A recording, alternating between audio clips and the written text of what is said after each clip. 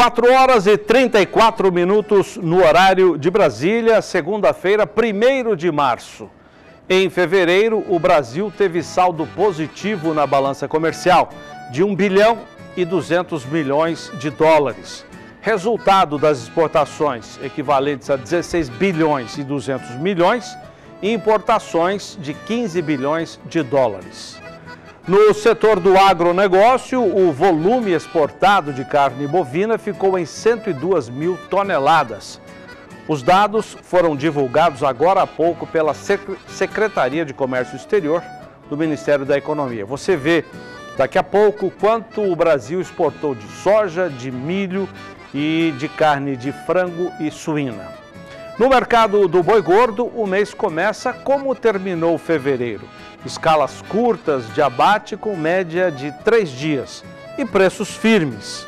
Segundo a Scott Consultoria, o cenário deve seguir de oferta curta de boiadas e também de animais de reposição, boi magro. E ainda melhoria do consumo de carne de começo de mês, o que é uma boa notícia, e exportações ganhando ritmo.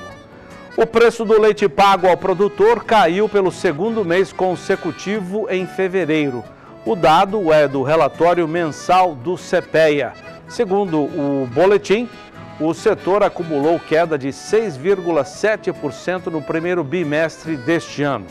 E o preço do leite captado em janeiro e pago aos produtores no mês passado caiu 2,2% para R$ 1,98 o litro na média Brasil, calculada nos principais estados produtores. Foi a primeira vez em seis meses que o preço ficou abaixo do patamar de R$ 2,00 por litro. Mesmo assim, diz o relatório do CPEA, o valor é 34% maior que o registrado no mesmo período do ano passado, em valores reais.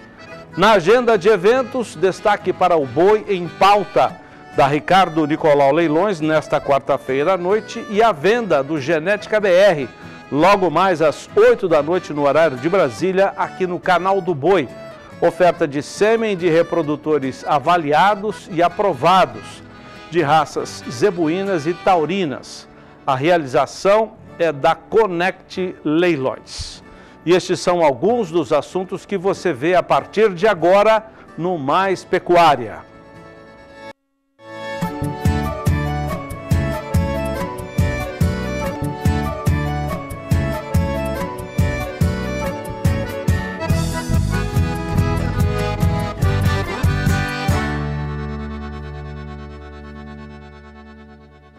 É importante lembrar que o Mais Pecuária também pode ser assistido ao vivo pelo site e Facebook do Canal do Boi. E o programa sempre começa com ele.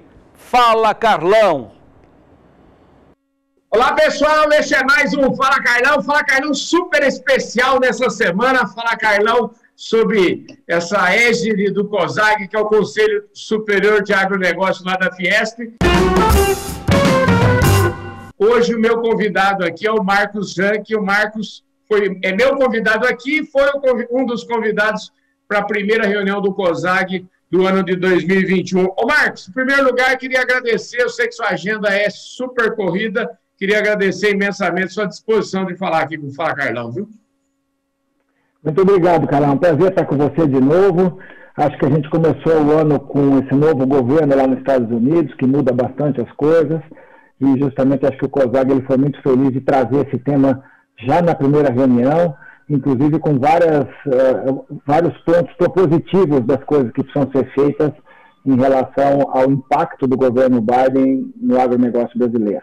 Ô, Marcos, deixa eu te falar, você é um cara que, vamos dizer assim, nos últimos anos é, morou fora do Brasil, morou na Ásia, principalmente, eu acho que essa experiência sua na Ásia é uma experiência que traz um olhar para todos nós que vivemos aqui no Brasil bastante interessante. Acho que a China sempre pensou no, no, lá no longo prazo, né? Eles sempre tiveram, desde lá de Confúcio, né?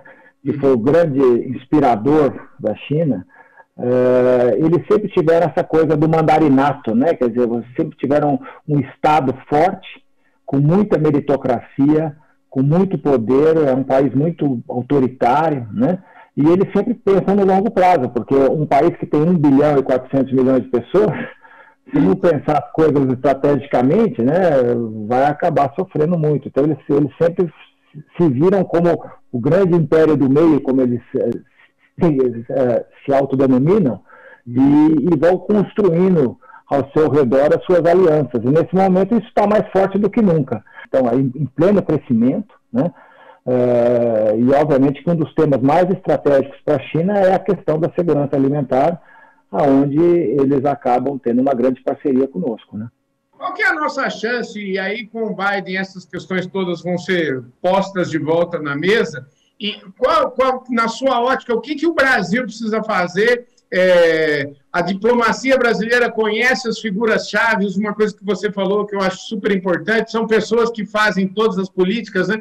É, o que, que nós precisamos fazer para, vamos dizer assim, é, entrar nesse, ou ser reinserido novamente nesse, nesse, nessas conversas, nessas tratativas?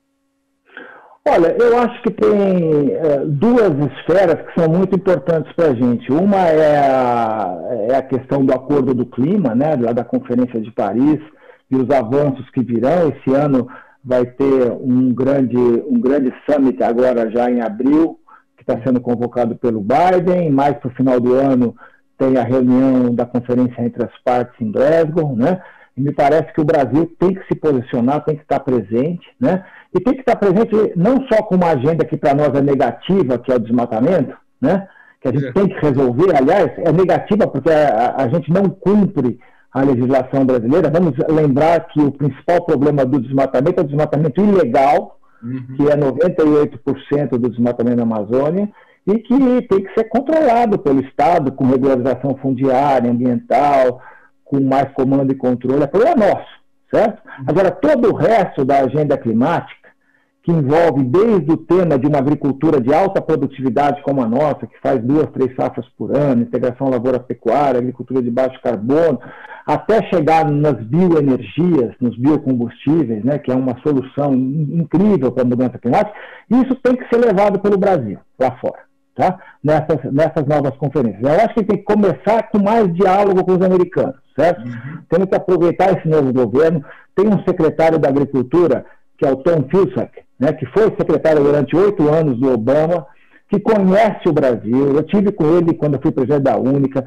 Ele adora o nosso programa de biocombustíveis de cana. Eles têm um programa muito ambicioso de biocombustível de milho. Nós também estamos fazendo milho aqui no Brasil, etanol de milho. Portanto, temos uma agenda comum com os Estados Unidos em bioenergia. Nós somos os dois maiores produtores, os dois maiores programas, temos que levar esse assunto para frente. E, e, a outra é a Conferência do Clima em si. E aí tem um outro craque que está lá, que é o John Kerry, né, que foi candidato presidencial dos democratas em 2004, que foi secretário de Estado do Obama, que hoje é enviado especial para o clima, uma espécie de czar do clima americano. Acabou de propor uh, um pacote de quase 2 trilhões de dólares, 2 trilhões de dólares de investimentos uh, para descarbonização nos Estados Unidos e para e resolver a questão climática. Né? Vai ter uma ação muito forte pelo mundo. Temos que nos aproximar. Me parece que, de um lado, o governo tem que mudar o disco. Né? O nosso governo estava muito pautado pelo Trump, o Trump saiu, uhum. né? É, agora entrou um novo governo, acho que a gente tem que se adaptar a essa situação, gostemos ou não, acreditemos ou não em mudança do clima, essa vai ser a toada, porque não é só Estados Unidos, é Estados Unidos, Europa e China, uhum. certo? Falando esse assunto nas organizações internacionais. Então temos que mudar o disco em termos já do governo é, e temos, obviamente, que o setor privado tem que tomar uma dianteira, eu acho, sabe? Tem que ir para fora, tem que ir lá conversar o setor privado norte-americano, é, alinhar uma série de coisas. Temos outras agendas muito interessantes para trabalhar juntos, por exemplo, a questão de inovação, de infraestrutura, de tantas outras coisas. Realmente buscar é, mais diálogo e mais proatividade nas, nas, nas arenas é, internacionais. Esse negócio da China, a China compra hoje a gente está numa dependência gigantesca né, da China como comprador. E a gente sabe que talvez é, tem um ditado que fala que não há nenhum mal que dura para sempre, mas nenhum bem também que, que dure para sempre. como é que você enxerga? O que, que a gente precisa fazer? Há mercados lá na Ásia, além da China? O que, que a gente precisa fazer para, vamos dizer assim, tentar diminuir essa dependência do comércio com a China? A dependência atual, né, que a China esse ano, esse ano que passou, ela, ela representa 36% da exportação do agro. Né? Uhum. Os americanos, por exemplo, representam 6%. Né? Então, você veja a diferença que é que a China é hoje, inclusive duas vezes a Europa, mais que duas vezes a Europa. Uhum. Né?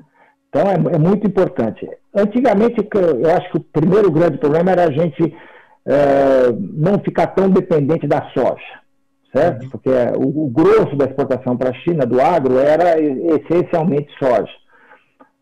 Hoje continua sendo, mas agora a gente está vendo o surgimento de novos produtos, né? Em função da peste suína africana que atingiu a China há dois anos atrás, a gente vê um forte crescimento do boi, do uhum. suíno, né? O frango continua grande lá. Tivemos também, em função da guerra comercial, um forte crescimento do algodão, né?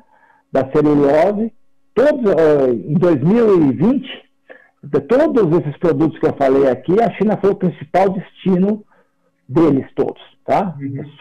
Soja, suínos, aves, uh, bovinos, algodão e celulose, né? E agora tudo indica que a China também vai comprar milho, tá? Porque ela está reformando a sua suinocultura em função da peste suína, eles estão acabando com o porco de fundo de quintal, vão fazer mais porco de granja, como a gente faz, uhum. vão precisar não só de soja, como de milho. Então, eu acho que a diversificação de produtos está acontecendo, só que ela não pode ser conjuntural, certo? Não pode ser assim, hoje a China tem a peste suína, abre 100 frigoríficos, amanhã não tem, fecha 50. Tem que ser uma relação de longo prazo construída. Eu acho que esse é, esse é um desafio. E, e o segundo é trabalhar outros mercados emergentes que estão acontecendo aí. Então, vamos pensar mais também no sudeste da Ásia, países emergentes, no sul da Ásia, onde está um grande comprador futuro, que é a Índia, que vai ser a próxima China, e eventualmente na África também, que, que tem muito potencial futuro. Portanto, diversificar mercados mais e diversificar produtos para não ficar só dependendo de soja e milho, que é o que está hoje indo muito bem, mas também, por exemplo, abrir mais carnes, abrir lácteos, por exemplo, que pode ser um, um grande, um grande futuro. Hoje a gente quase não exporta leite, a gente quase não exporta peixe, por exemplo, que é um mercado que está crescendo. Portanto, eu acho que a gente tem que, a gente tem que trabalhar nessas duas frentes, diversificar mercados e diversificar produtos. Né? E conversar mais com o nosso cliente, e conversar mais com o nosso consumidor lá fora, com os nossos importadores, com os nossos uh, supermercadistas, sabe? o, o, grande vetor de crescimento do agro brasileiro é o mundo, é a exportação. Entendeu? Não é o mercado interno, que já é muito grande e tal, mas é, a gente vai crescer porque o mundo precisa do que a gente fez aqui no Brasil. E essa agenda de cooperação aqui, para a gente fechar, é uma coisa que passa pelo governo, órgãos governamentais, como é que entidades privadas podem contribuir com isso? O que eu acho que é um dos grandes erros brasileiros é achar que basta ir a Brasília que as coisas vão acontecer. Tá? Infelizmente, pode até acontecer nas coisas ligadas à política agrícola, à política interna, à política social, sei lá. Mas, assim, quando a gente fala de mundo, o setor privado não pode achar que a diplomacia ou que a ministra da Agricultura vai resolver todos os problemas. Ele tem que ser mais proativo lá fora. Principalmente quando você é o terceiro maior do mundo e você está sendo atacado em diversas frentes. Tá? Então, a minha grande recomendação é o seguinte: o setor privado tem que sair do país certo? Tem que estar presente nos principais mercados, tem que estar dialogando nas principais reuniões internacionais. Não pode achar que só, que só a ida do governo lá para fora, através do Itamaraty, do Ministério da Agricultura, resolve. Não resolve. Eu vivi uh, dez anos fora, de, alguns anos lá nos Estados Unidos, três anos nos Estados Unidos, três lá na Europa, quatro na Ásia. Acompanhei de perto como é que funcionam os lobbies, a formação uh, das políticas e tal, e, e, e, nós somos o grande ausente. A gente precisa ter mais gente lá fora, tem que ter mais capacidade de diálogo e de influência uh, na defesa dos nossos interesses, e isso não é só o governo brasileiro que faz. Aliás, às vezes até vai contra né, alguns temas o governo brasileiro, infelizmente, não ajuda muito, uh, mas assim, eu acho que a gente tem que ter mais proatividade do, do, lá do setor privado. Marcos, obrigado pela sua presença aqui. Infelizmente, nosso tempo agora acabou mesmo, viu? A gente podia continuar conversando aqui um tempão. para fechar mesmo a nossa prosa, que tamanho que está o Insperagro, o que, que vocês têm feito? Eu tenho assistido algumas lives de vocês aí, gosto muito de todas as reflexões que vocês têm feito. Me fala um pouquinho. Faz aí um comercial do Insperagro, afinal de contas deve ter muita gente aqui precisando voltar para os bancos escolares e entender um pouquinho o que está acontecendo no mundo. Ó, Carlão, a gente tem basicamente três áreas né, que a gente atua. Né? A, a gente faz estudos estratégicos, que não é consultoria, então a gente pega grandes temas e, e, trabalha a fundo. Vamos fazer um livro esse ano chamado O Brasil no Agronegócio Global, para analisar a inserção brasileira em nove macro-regiões do mundo. Em cada uma delas, vamos olhar a China, vamos olhar Sudeste da Ásia, Sul da Ásia, África, etc. Esse livro vai ser feito, inclusive, em parceria com pessoas que trabalham lá no governo, né, nessa área, adidos agrícolas e, é, é, e alguns diplomatas. Uh, vamos também produzir um, um, grande estudo sobre a questão ambiental, o que, que o setor privado está fazendo no tema ambiental, no tema da mudança do clima. Vamos ampliar o nosso ciclo de, de, de debates, né, que vai ser internacionalizado.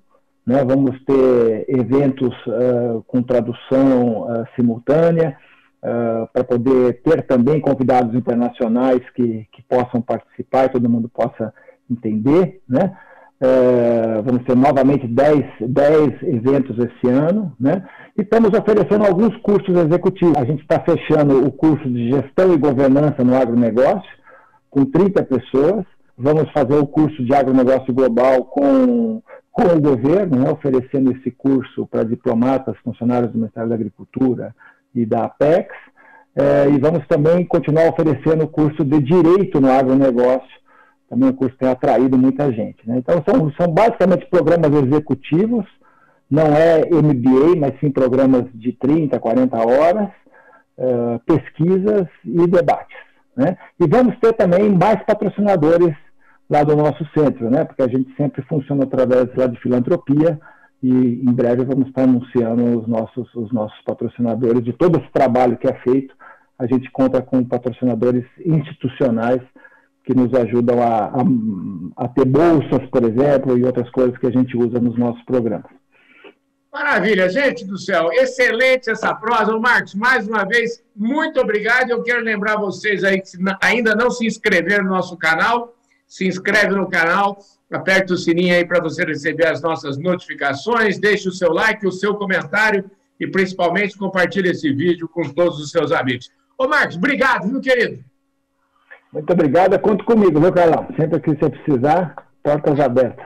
Aqui também, a mesma coisa. Su sucesso aí. Forte abraço. Eu vejo todos vocês no nosso próximo programa. Valeu, gente. Tchau, tchau.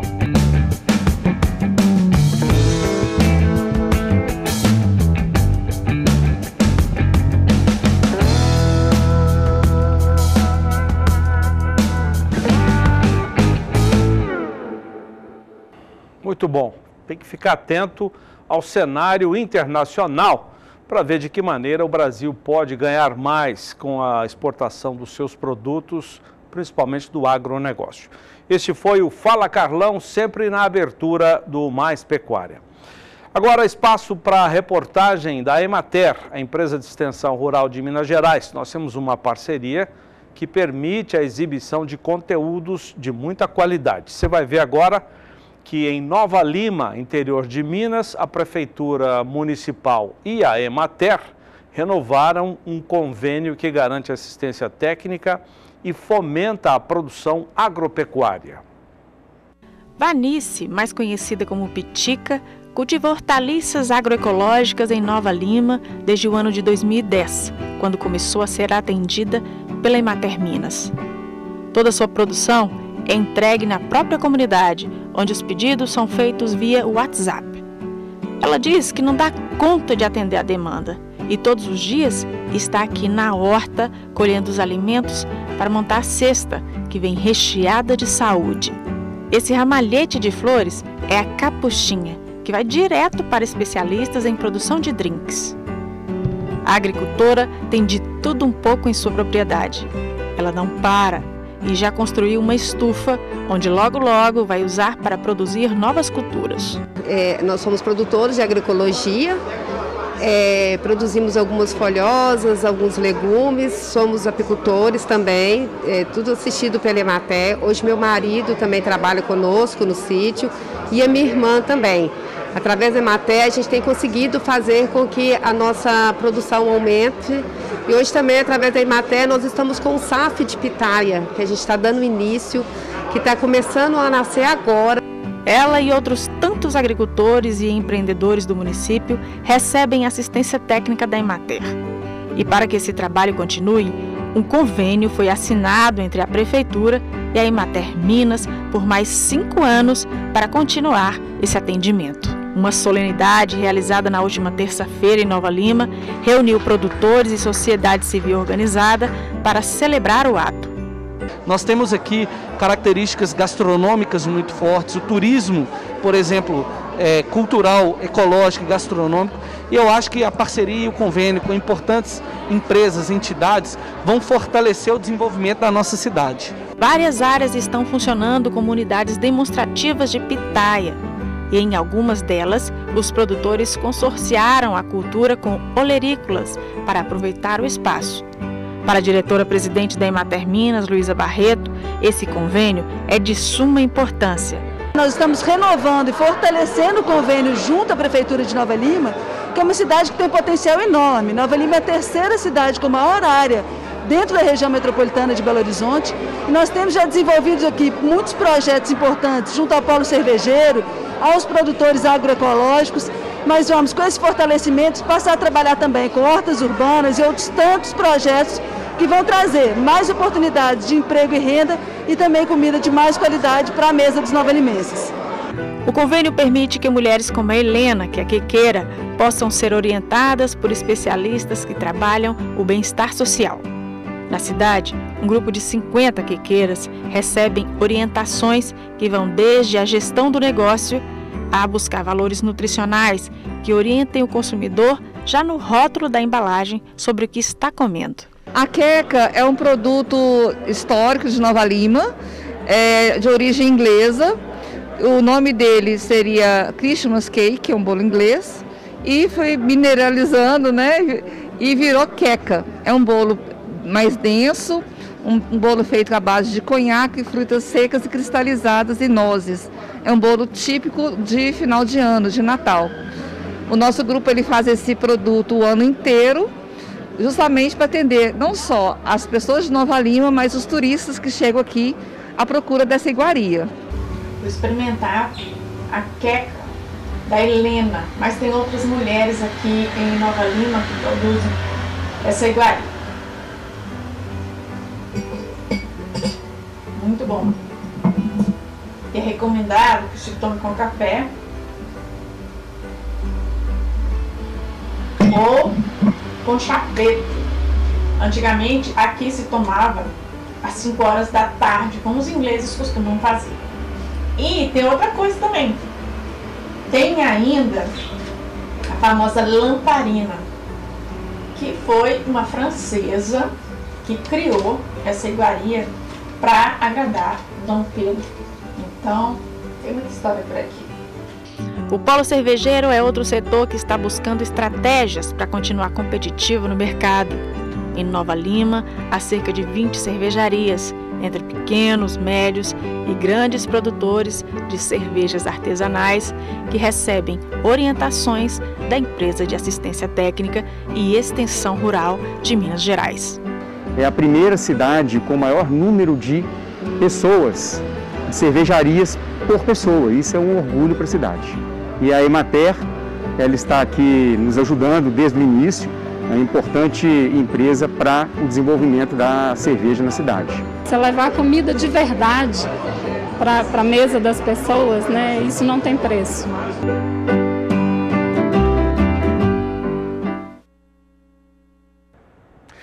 Depois do intervalo comercial, você vai ver que o Conselho Monetário Nacional aprovou medidas focadas em reivindicações do setor de produção leiteira. Até já!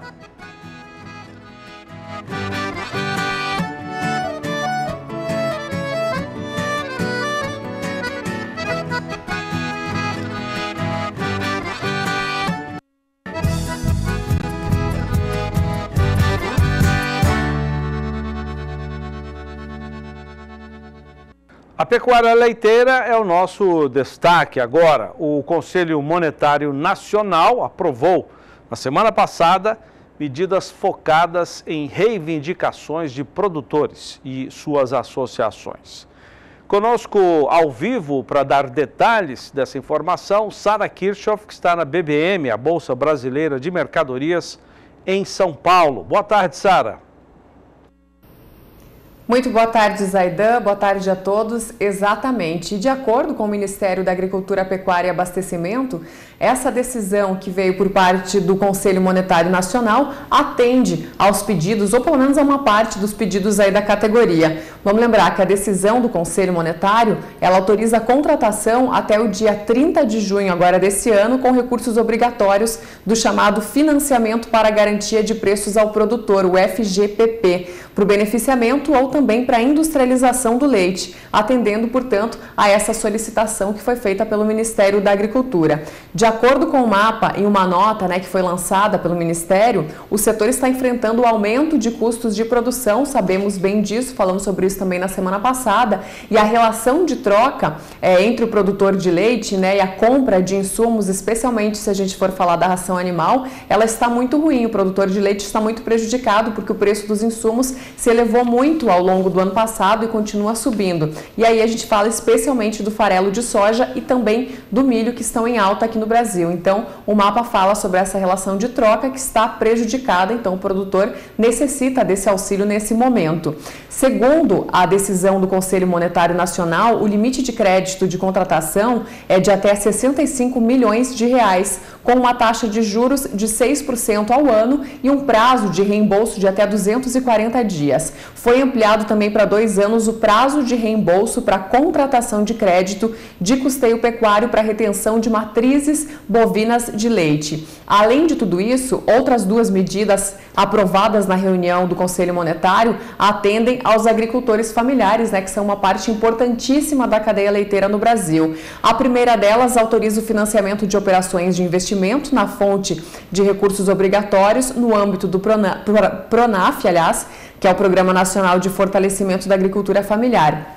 E isso aqui pode resultar em um total de 1 milhão e 500 mil reais em recursos para essa modalidade, recursos novos, né? A segunda medida, ela também amplia o prazo de crédito de curto prazo para as agroindústrias familiares, de um para dois anos, também em operação aí do Pronaf. Então, medidas muito importantes para o setor que está pedindo socorro, né? Faz algum tempo já, mas especialmente esse ano, considerando que os preços do leite caíram no Brasil, enquanto o preço dos insumos continua subindo. Daqui a pouco esse assunto volta a repercutir aqui no Mais, Mais Pecuária com uma reportagem que vem direto de Brasília da Berenice Leite. Zaida, é com você. Legal, obrigado, Sara. De fato, daqui a pouquinho a gente fala mais desse assunto, que é muito importante. E temos também um assunto ligado, que é o relatório mensal do setor leiteiro, do CPEA que apontou uma queda de 2,2% no preço do leite pago ao produtor em fevereiro. Na média Brasil, o preço pago pelo litro ficou em R$ 1,98.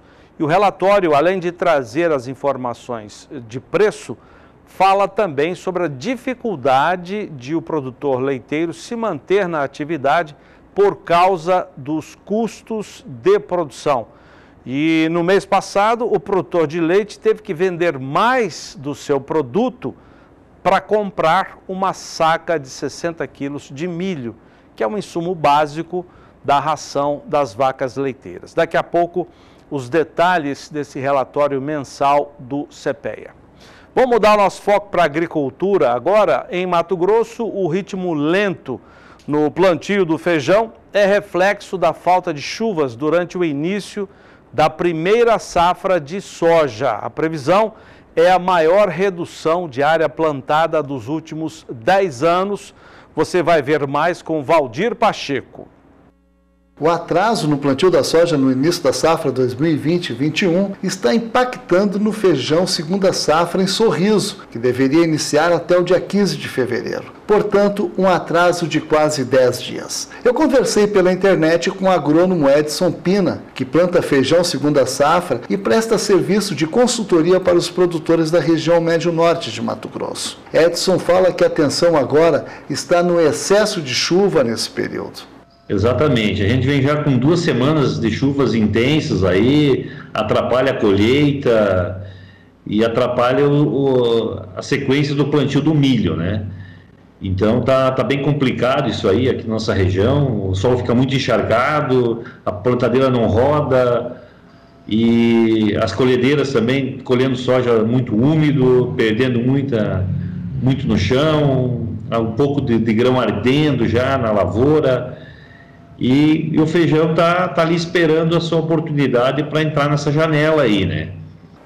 Edson, esse atraso no plantio pode haver uma redução de área destinada ao cultivo do feijão safrinha?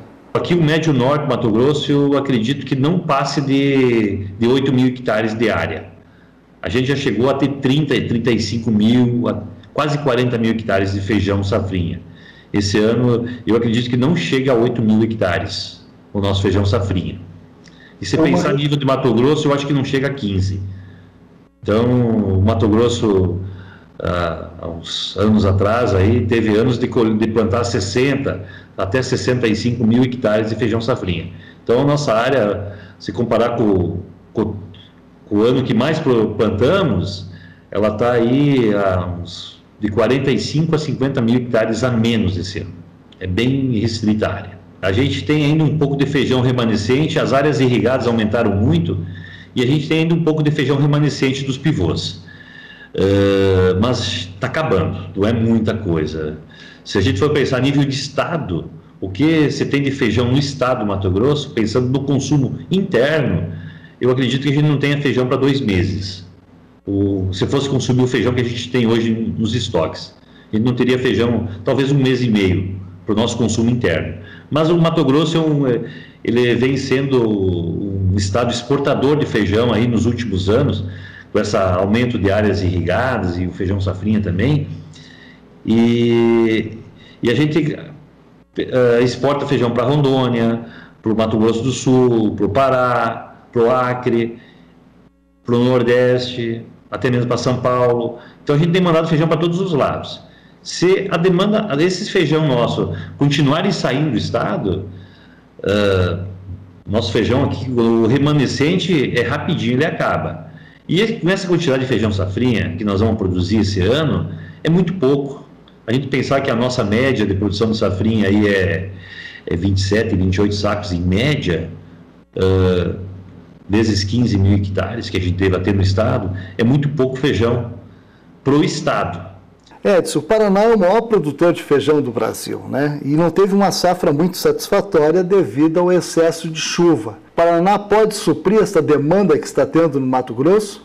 Pegaram muita chuva, tiveram uma qualidade de grão péssimos, perderam muita, muito feijão na colheita por causa de brotou.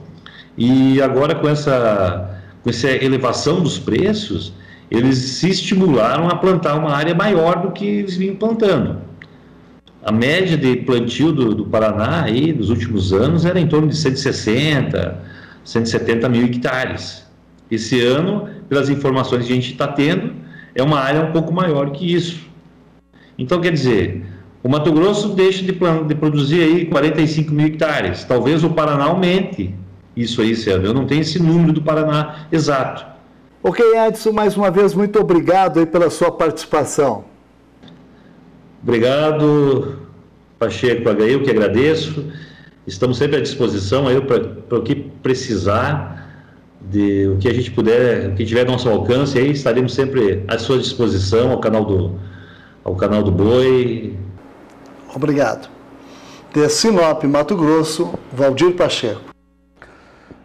Agora, informações de tecnologia e produção você que usa o sistema rotacionado de pastagem e precisa de uma cultivar com alto ganho médio diário, acompanhe as orientações do Medina, que é gerente técnico da Facholi. Olá, meu nome é Rodrigo Medina, sou gerente do departamento técnico da Sementes Facholi e hoje a gente vai falar sobre a cultivar BRS Tamani. A BRS Tamani é a primeira cultivar híbrida de pânico máximo lançado pela Embrapa no ano de 2017. Entre os posicionamentos desse produto, a gente tem trabalhado principalmente para regiões onde a, precipitação está acima de mil milímetros por ano, para condições de solo de média a alta fertilidade, condições físicas desses solos necessárias, solos que apresentam boa drenagem. É uma planta que apresenta uma boa tolerância ao ataque de cigarrinha das pastagens. Entre os métodos de pastejo indicado para essa cultivar, a gente tem trabalhado principalmente para o pastejo rotacionado, preconizando uma altura de entrada na casa dos 50 centímetros e uma altura de saída na casa dos seus 25 centímetros. O tamane é uma planta, um pânico de porte médio baixo, com alta relação folha-como, e o cuidado que a gente tem que ter com essa cultivar está em pressões de pastejos para baixo, super pastejos. Aí, em situações de solo de média fertilidade, onde, onde é utilizado super pastejo, é uma planta que tem uma certa dificuldade em rebrote. Então lembrando que a gente tem que aprender a trabalhar é, utilizando aí essa ferramenta de altura, de altura de entrada e altura de saída de maneira mais eficiente. É uma cultivar que a gente tem trabalhado para posicionamentos tanto para engorda quanto para o gado leiteiro, para ovino e para equinos. E está entre os pânicos o material que apresenta o maior GMD, ganho médio diário por animal. Para saber mais, acesse o nosso site.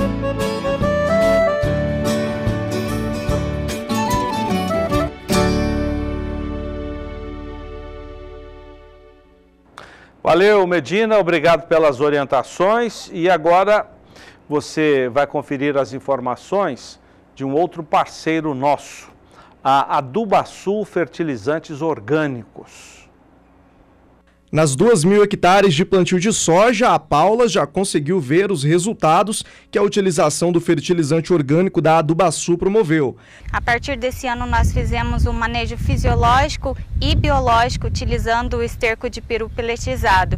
Então, a expectativa é que se colha entre 3 a 10 sacas a mais por hectare. Acompanhando tudo de perto, a Paula confirma os resultados. A estrutura da raiz do pé de soja mostra que a terra está com nutrientes adequados para a produção da cultivar. O esterco de peru peletizado ele levou uma decomposição mais rápida da matéria orgânica. Achamos até a presença de minhocas nessa área, devido à quantidade de ácidos fúlvicos que está presente no adubo. Representante da Adubaçu, em Mato Grosso do Sul, o Eloir conta que a parceria da empresa com produtores do estado e até do Brasil estão crescendo cada vez mais, mostrando que a utilização do esterco de peru peletizado garante bons resultados. O consórcio com o químico, com o NPK, ele tem dado ótimo resultado em várias áreas, tanto na área é, argilosa, né, ou então em outras áreas que eu tenho feito vários, várias vendas aqui no estado então o resultado é excelente. O produtor ele gosta e ele acaba indicando talvez mais um amigo. Com matéria-prima orgânica rica em macro e micronutrientes, os produtos garantem qualidade e saúde da produção do início ao fim. Dados da empresa apontam que áreas de soja que receberam a aplicação do produto aumentaram a produtividade.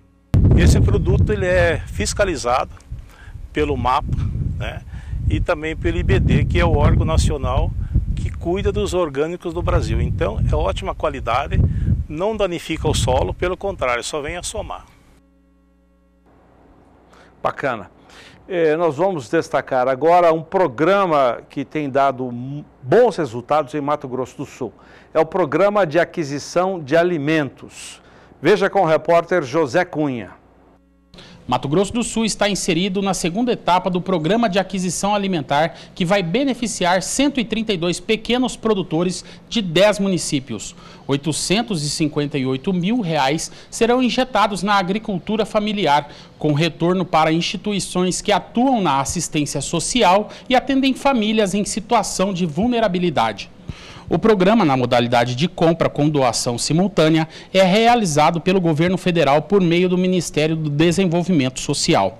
Na primeira etapa, realizada em 2020, foram beneficiados 395 agricultores familiares de 78 instituições e 12 municípios, que somaram mais de 2 milhões e meio de reais.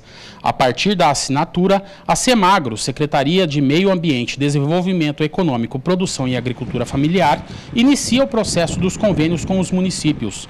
A secretaria também fará a chamada pública para habilitar os produtores. Cada agricultor habilitado receberá um cartão onde o recurso será depositado diretamente. Para estar apto, o produtor tem que oferecer no mínimo três diversidades de culturas. De acordo com o secretário Jaime Verruc, o programa é importante porque ele dá segurança ao segmento da agricultura familiar e atende a população mais carente. E isso vai de encontro com a orientação do governador Reinaldo Zambuja de sempre integrar as ações para beneficiar várias cadeias. Os alimentos adquiridos são doados a entidades da rede socioassistencial.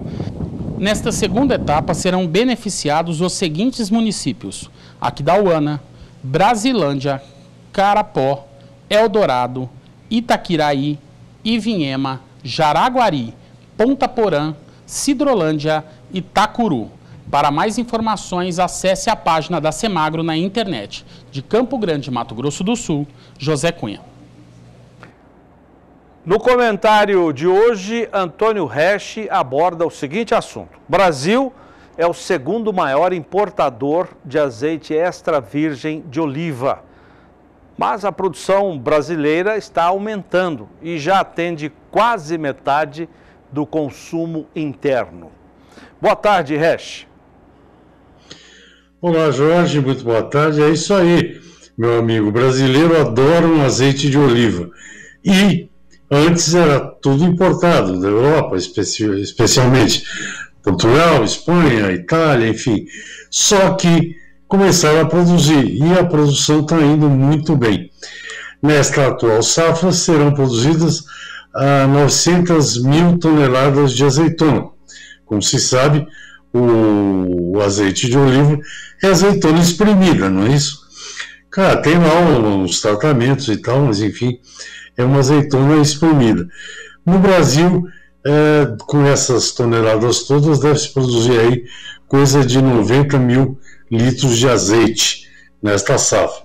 Já produzimos um pouco mais, mas ainda é muito pouco em relação ao consumo. O que fez essa produção esse ano ser uma boa produção foi que a área aumentou de 6 mil para 7 mil hectares e o clima trabalhou como uma mãe para os produtores de azeitona. Funcionou perfeitamente. Sabe que a azeitona é um produto de área quase desértica, né?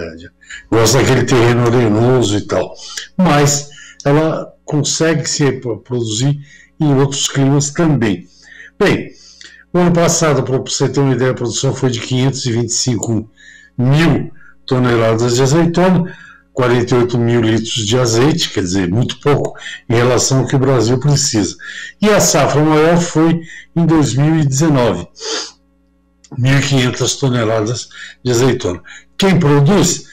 Rio Grande do Sul, a campanha gaúcha, a Serra do Sudoeste, seguido por Minas Gerais, seu estado de nascimento, e também são produtores de azeitona Santa Catarina, Paraná, São Paulo e Rio de Janeiro. Ou seja, você vê a diversidade de clima aí. O Brasil é, importa, importou em 2017, 2018 77 mil toneladas de azeite. É bastante. E 110 mil toneladas de azeitona. Haja azeitona para aperitivo, né? Bem, 18 e 19 foram 90 mil toneladas importadas, 121 mil de azeitonas. Você vê que é um número só crescente. Daí o interesse dos produtores brasileiros que viram que o produto vai bem no Brasil de plantar. Só estamos atrás dos Estados Unidos na importação, tanto de azeite quanto de azeitona. A azeitona mais cultivada no Brasil, Zaida, chama-se arbequina, uma azeitona verde, e ela é originária da Catalunha, o norte da Espanha.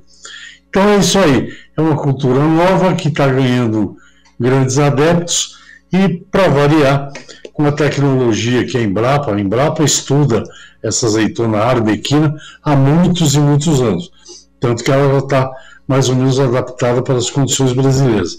Então, com a base, com o apoio da Embrapa, uma nova cultura, uma cultura que agrega valor, que azeite de oliva não é um produto barato, azeitona também não.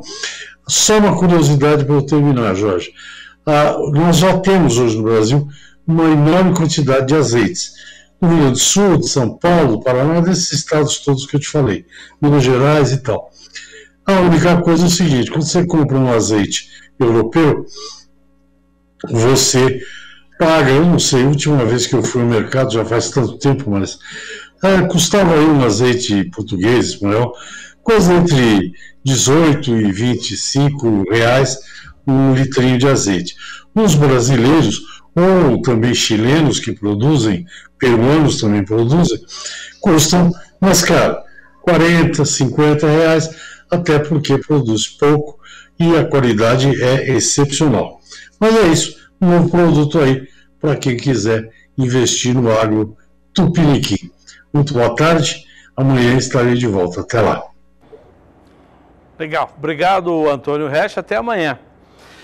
Você vê agora o primeiro capítulo de uma história contada em vídeos de cerca de um minuto, com o processo de construção do SEIP. O SEIP é o Certificado Especial de Identificação e Produção, concedido pelo Ministério da Agricultura para bovinos geneticamente melhorados, geneticamente superiores.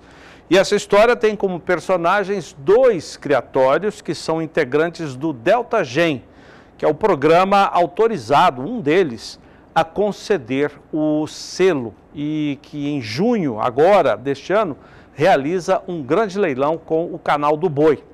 Veja então esse primeiro capítulo com o repórter Daniel de Paula.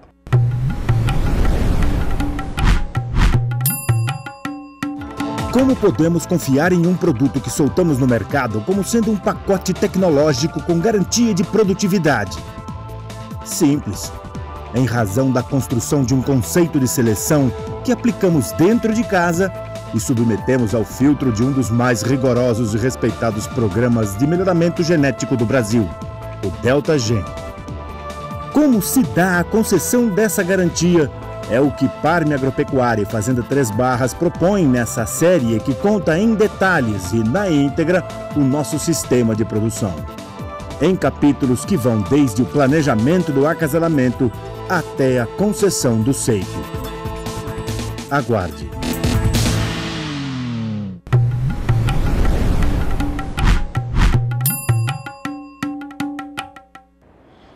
Depois do intervalo comercial, nosso assunto é a pastagem de qualidade, que é tema de um projeto encabeçado pela BCZ, Associação dos Criadores de Zebu. E eu lembro que logo mais às 8 horas, depois do programa Na Batida do Martelo, tem a venda de sêmen do Genética BR.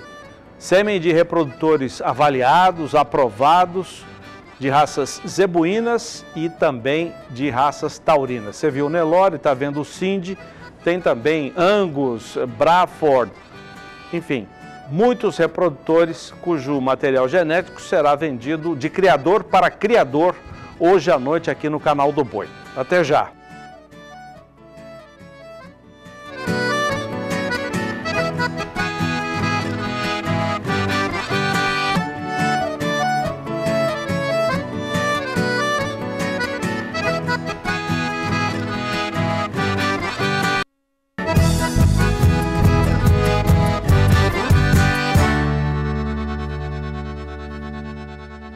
A pastagem, um dos itens principais da atividade pecuária, é tema de um projeto encabeçado pela ABCZ, Associação Brasileira dos Criadores de Zebu, em parceria com outros órgãos de pesquisa em Minas Gerais.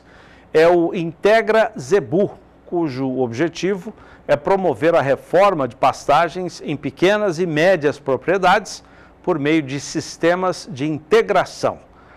A nossa produtora Laís Colombelli conversou na semana passada com o gerente comercial da entidade, o, o João Gilberto Bento, que explicou como o projeto é desenvolvido.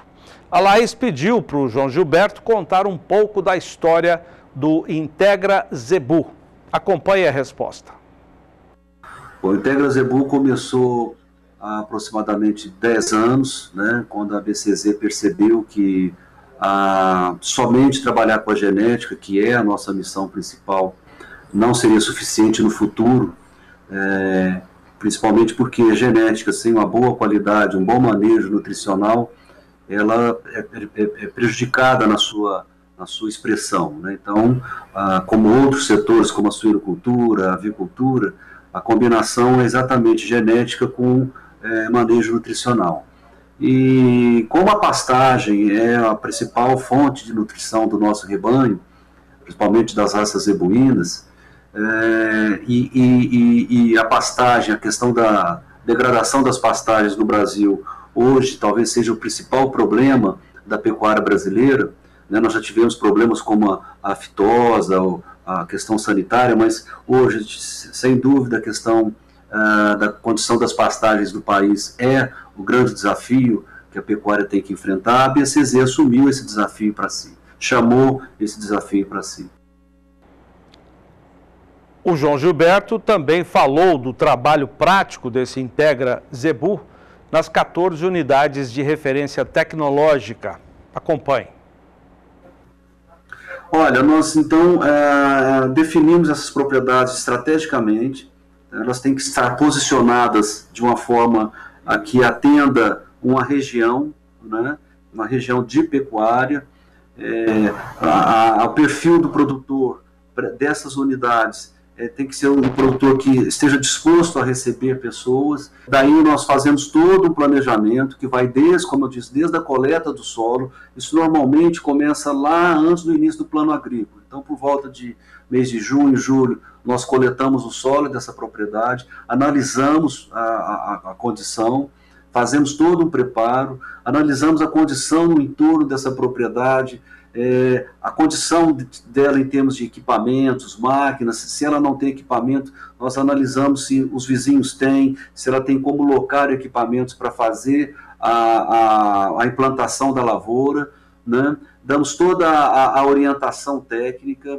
orientamos na formulação da adubação, na correção do solo, usando principalmente é, é, o calcário e o gesso agrícola, é, e a partir daí definimos a estratégia de plantio usando a lavoura e a, a, já com as, a, as, sementes do capim que ela vai ser implantada. Uh, normalmente, nós estamos trabalhando com propriedades de pequeno e médio porte. A gente acha que, assim como no Progenética, é um setor, é um segmento da pecuária que precisa de um, de um, de um cuidado especial.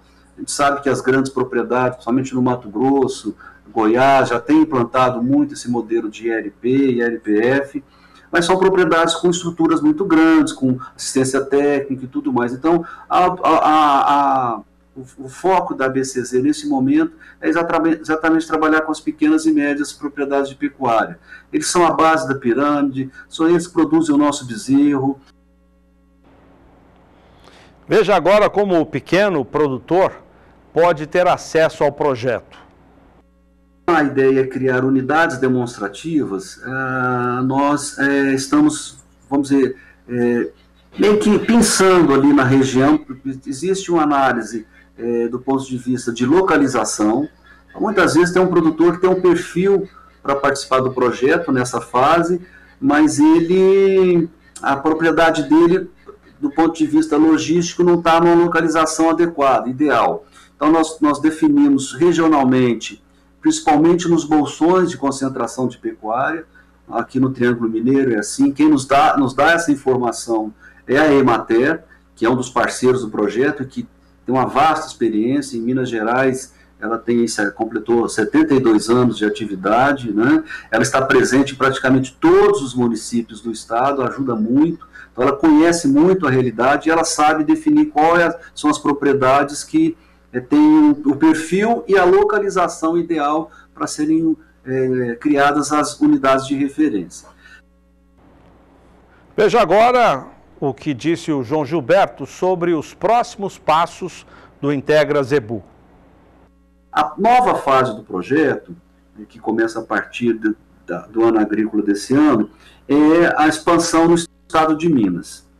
É, a Emater, é, do ponto de vista é, de posicionamento, de logística, ela está espalhada no estado todo, como ele disse, são 32 regionais, então a ideia é criar unidades demonstrativas, nós estamos definindo quantas serão em cada uma das regionais. Né? Aqui no, no, no nosso modelo esse ano, nós pegamos a regional de Uberlândia e a regional de Uberaba. Foram sete unidades nessa região de Uberlândia e sete na unidade de Uberaba. Então, provavelmente, a gente segue esse modelo. Então, nessas 32 regionais de Minas, a gente, a proposta é criar sete regionais em cada uma dessas unidades. Obrigado ao João Gilberto Bento pela entrevista. Vamos mudar um pouco o nosso foco para o milho. O Paraná é o segundo maior produtor nacional, é responsável por cerca de 15% da produção brasileira. Mas as lavouras por lá têm enfrentado o problema chamado enfesamento do milho, uma doença que tem como causa de transmissão a cigarrinha. Veja mais com Mauro Andrade. A ADAPAR, Agência de Defesa Agropecuária do Estado do Paraná detectou a presença do enfesamento do milho em 50 municípios do estado nesta safra de verão 2021, que encontra-se em fase de colheita. Os técnicos estão percebendo que o enfesamento do milho este ano está muito mais intenso que em anos anteriores. Nós vamos conversar com Michele Silva, ela é pesquisadora do IDR Paraná e vai nos falar o que é e como ocorre o enfesamento do milho. É uma doença causada por duas bactérias e um vírus. Essa doença ela é transmitida pela cigarrinha do milho. É, essa cigarrinha ela vai picar uma planta contaminada e vai transmitir para outras plantas é, que, dentro da cultura. Então, uma cigarrinha somente vai levar uma hora para se alimentar é, na planta e em seguida ela já fica infectiva para o resto do ciclo de vida dela, que é em torno de 45 dias. A planta infectada pelas bactérias, ela vai apresentar principalmente o amarelecimento da, da folha do milho ou a, o envermelhamento da folha do milho, começando nas bordas, seguindo para o centro da folha e vai culminar com o secamento da folha e a, e a perda de área fotossintética. Então, pode haver um enfraquecimento de raiz, que mais tarde pode levar ao tombamento da planta, que às vezes é confundido com infecções de fungos, mas na verdade é uma, um desequilíbrio hormonal da planta. Por que, que ocorre esse desequilíbrio hormonal? Porque as bactérias elas vão se alojar no floema da planta, que é o que vai distribuir os nutrientes pela planta. Uma vez entupido, a planta começa a apresentar sintomas de nanismo, encurtamento dos entrenódios, também não vai conseguir passar nutrientes para a formação e enchimento dos grãos, então nós vamos ter espigas mal formadas, ou então um multiespigamento pode ocorrer, mas sem a formação de uma espiga única viável. O enfesamento do milho é uma doença que exige um conjunto de medidas de manejo para se conseguir o controle da cigarrinha. Essa é uma doença que precisa ser manejada, porque ações pontuais não vão controlar essa doença. Então, entre as medidas de controle estão a erradicação das plantas é, guachas ou tigueras, né? É, o tratamento químico nas plantas até o estágio V4, V5, com inseticidas neonicotinoides. Outras duas medidas importantes são igualar a época de semeadura do milho e usar é, híbridos que sejam é, mais tolerantes à cigarrinha, que existem alguns no mercado. Uma recomendação importante é que a cigarrinha do milho ela não respeita as fronteiras ela pode voar cerca de 30 quilômetros e também pode ser carregada pelo vento. Então é importantíssimo que todos os agricultores da área façam esse manejo da doença ao mesmo tempo, porque apenas uma lavoura pode contaminar todas as outras ao redor. De Londrina, no Paraná, Mauro Andrade. Começou hoje o prazo para a declaração, a entrega da declaração do imposto de renda referente à temporada de 2020, o ano fiscal 2020. O prazo termina no dia 30 de abril e já está disponível na página da Receita Federal o programa para a declaração de pessoa física. Veja mais com José Cunha. Desde a última quinta-feira, contribuintes de todo o Brasil já podem baixar o programa de preenchimento e de entrega da Declaração do Imposto de Renda Pessoa Física 2021 com base no ano de 2020.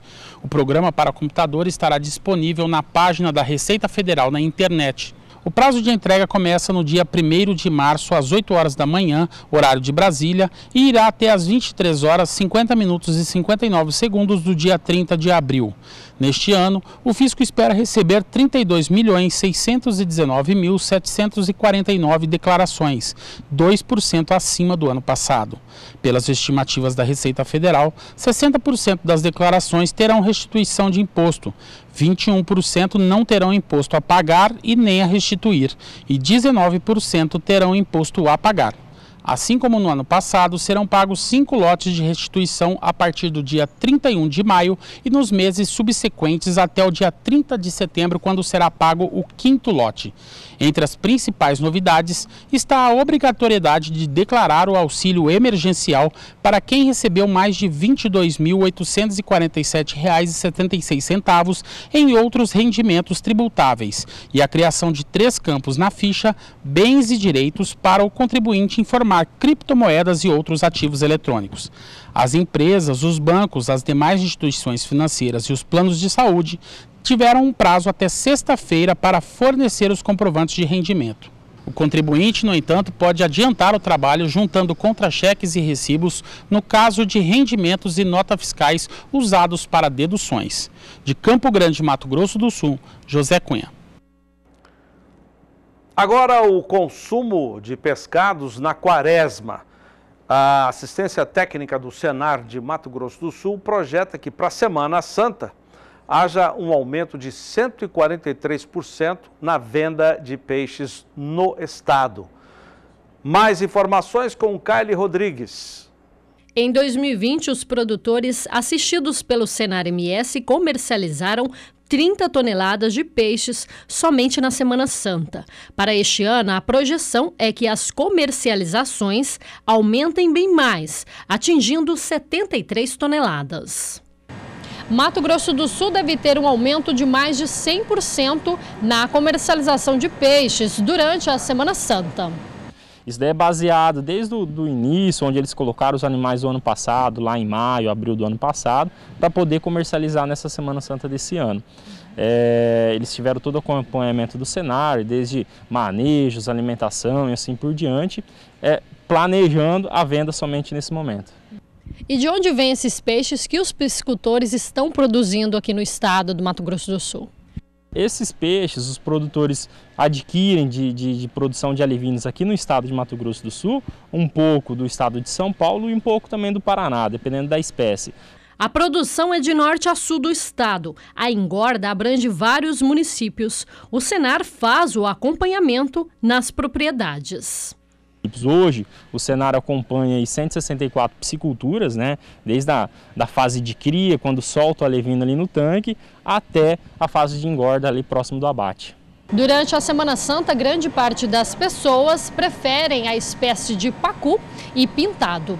De Campo Grande, Kylie Rodrigues. Veja agora na reportagem o trabalho dos, dos equipamentos, são cerca de 10 da Tritucap. Esses equipamentos promovem a limpeza, triturando resíduos vegetais na propriedade. Dá uma olhada.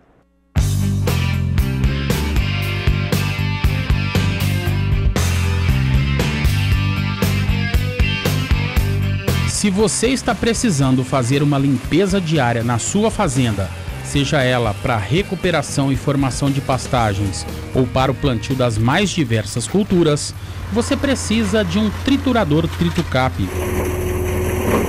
O Tritucap é um novo implemento agrícola totalmente inovador e tecnológico, que vai realizar esse trabalho para você com rapidez, agilidade, eficiência e o mais importante, com sustentabilidade. Nós aqui da Fazenda Bela Época, há muito, muito tempo, há muitos anos atrás, aí há uns 4, 5 anos atrás, começamos a procurar um equipamento que para podermos renovar as lavouras, né, erradicar as lavouras de forma sustentável, né? É, alguma coisa que triturasse realmente a lavoura e sem precisar arrancar e enleirar e queimar. Há um ano atrás nós, nós descobrimos aí o pessoal da, da Petrotec, né, a Tritucap, o equipamento da Tritucap, e logo de início fizemos um teste, já adquirimos o equipamento e já entramos com essa renovação de lavouras, com esse sistema de, de trituração aí. E foi um equipamento que atendeu muitas expectativas com relação à eficiência, né? rendimento com qualidade, que eu sempre falo. E, e vejo que o equipamento ele entrega realmente né, o, o, o que ele está predisposto a fazer. E o mais interessante que nós achamos nesse, nesse sistema de trituração é você deixar toda essa massa no, no solo. Massa no solo. É isso mesmo que o TritoCap faz com todo o material que é retirado na área. Transforma toda essa matéria orgânica em nutriente para o solo, uma espécie de adubo que retém umidade, preservando todas as propriedades da terra. Além de todo esse conceito, o baixo custo de manutenção é outra grande vantagem para quem trabalha com esse implemento. Primeiramente, manutenção dele é praticamente zero em vista dos outros trituradores que quebram demais. Os outros trituradores iam bem até um diâmetro aí de 8 centímetros do caule da planta. Agora o tritucap não tem. É, você não tem problema se a planta tem mais de 8 centímetros, você está com 15, com 20, com 25. De qualquer jeito ele vai fazer o serviço. Para você que se encontra em regiões como o Pantanal, por exemplo, onde até mesmo as queimas controladas estão restritas ou proibidas e precisa fazer uma limpeza diária na sua propriedade para reforma de pastagens, o TritoCap é o equipamento certo para atender a sua necessidade. Eu acho que é a solução aqui para o Pantanal, para a roçada do capim nativo. É, eu acho que antigamente nós fazíamos as queimadas aí quando era legalizado o negócio Hoje em dia temos que procurar novas opções, né? E eu acho que nasceu para isso. Esse implemento é cai como uma luva pro pro pecuarista que, que precisa manter suas invernadas limpas, aí que utiliza do capim nativo. E eu acho que é a solução. Então você já sabe, qualquer que seja a sua atividade agrícola, seja qual for a sua região no país, o TritoCap faz o que é preciso e ainda nutre o seu solo. Entre em contato pelos telefones que estão na sua tela ou acesse o endereço eletrônico www.tritocap.com.br e solicite a visita de um representante. TritoCap, a sua melhor escolha em supressão vegetal.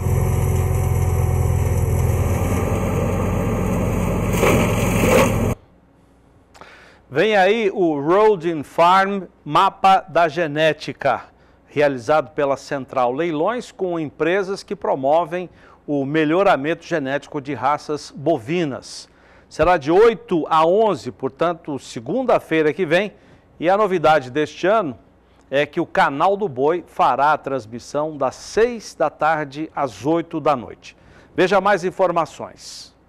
O Roading Farm 2021 pode até ser totalmente online, mas não deixa de te colocar frente a frente com nomes de grande relevância no agro do Brasil.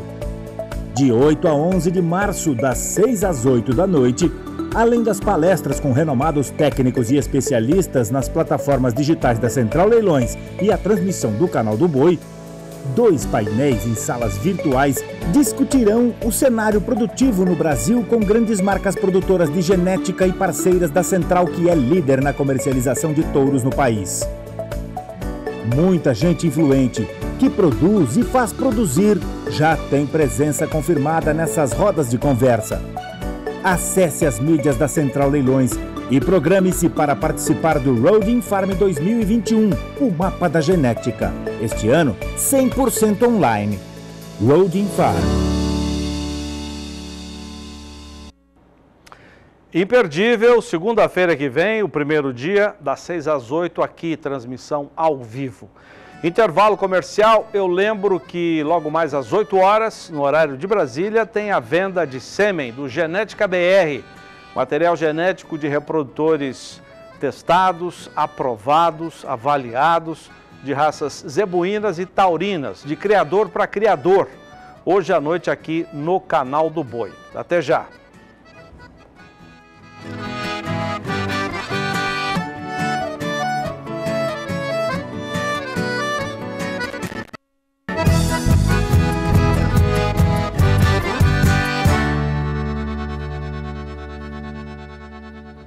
O Mais Pecuária destaca o projeto Pecuária BR. A gente sempre mostra aqui reportagens falando que o Pecuária BR é uma vitrine de tecnologia onde vários serviços, produtos são testados e depois ficam em exibição para a gente colocar, principalmente nas nossas reportagens. E tem uma nova, um novo experimento entrando lá. A multinacional CJ Select tem um experimento de pastagem na Fazenda Pecuária BR, fica perto da capital, em Campo Grande, em Mato Grosso do Sul.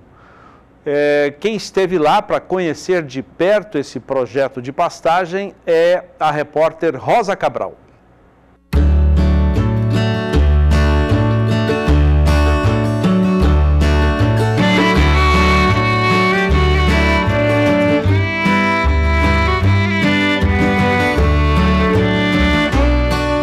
Sandro, nada de massa seca por aqui, né? Bom, Rosa, sim. O que a gente traz no nosso programa e no programa nutricional CJ Select para a cultura da pastagem, o que a gente quer entregar para o produtor rural seria isso mesmo aqui que, tá, que a gente pode observar. Entregar uma massa mais verde, com um teor maior de proteína, né, por, por massa de forragem, e não a massa de forragem mais seca. Para a gente já estar tá entrando no período da seca e a gente consegue observar isso aqui nesse talhão. Esse exemplo da aplicação foliar entregue à pastagem é na fazenda onde está inserido o projeto Pecuária BR, na região de Terenos, Mato Grosso do Sul, centro-oeste do Brasil. O engenheiro agrônomo Sandro Miranda é da CJ Selecta, multinacional sul-coreana ramificada em Minas Gerais e que fornece para o campo manejo com biotecnologias e produção de aminoácidos. Hoje a gente sabe que o produto padrão mais utilizado pelo produtor rural é a aplicação em torno de 100 a 150 kg de ureia por hectare e a gente traz o benefício de utilização via aplicação foliar dos nossos produtos, que seriam o Fisomix Pro, na, nas doses que variam entre 2 a 3 litros por hectare, e o Actimax 24.2, nas doses que variam entre 20 a 30 litros. É, pensando em relação à produtividade, ou melhor qualidade de forragem, é, seguindo nesse segmento que é na aplicação via foliar. A área total desse experimento é de aproximadamente 9 hectares. E aí, no manejo da aplicação, funcionou da seguinte maneira: em novembro do ano passado, foi realizada a primeira aplicação no período das águas, depois em janeiro. E aí, o gado já está desfrutando desse banquete verde. A gente faz as aplicações dos nossos produtos, espera o período de vedação. Quando o produtor vai entrar com os animais para fazer o pastejo na área, a gente vem antes, faz a metodologia da coleta, a gente utiliza o quadrado, o método do quadrado, onde a gente faz a média altura das plantas em 50 pontos dentro do taião, para fazer a média de altura, e a gente vem e coleta essa forragem. Após a coleta dessa forragem, a gente faz dois tipos de, de coleta, o pastejo total e o pastejo simulado, que a gente faz o corte acima de 15 centímetros de altura e a gente manda isso para o laboratório para fazer a análise bromatológica completa. Aí eu consigo mostrar para o produtor rural o teor de proteína, o teor de fibra, FDN, FDA e algumas outras variáveis que são importantes.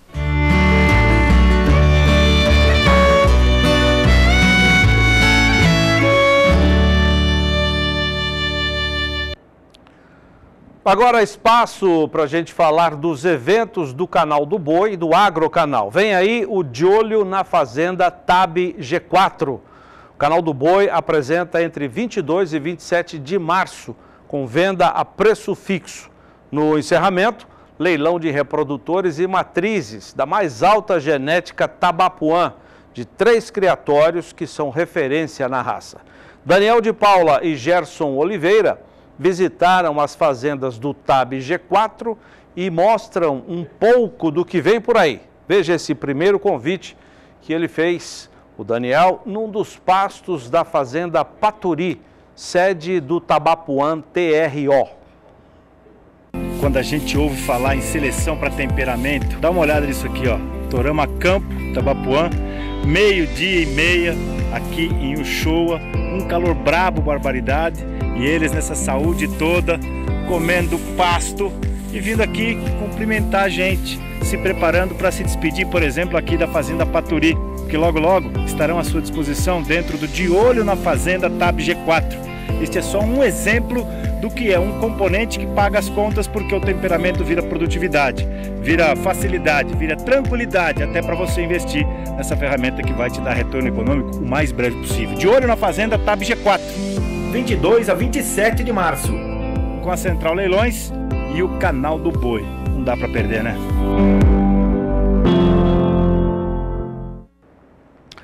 Confira na nossa programação a visita em outras propriedades do TAB G4, que é um grupo de criadores e selecionadores de Tabapuã.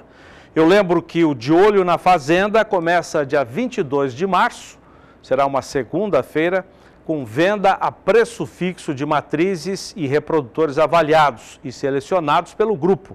E no dia 27, no fechamento do De Olho na Fazenda, o, nós teremos um leilão especial organizado pela Central Leilões, com a transmissão nossa do Canal do Boi.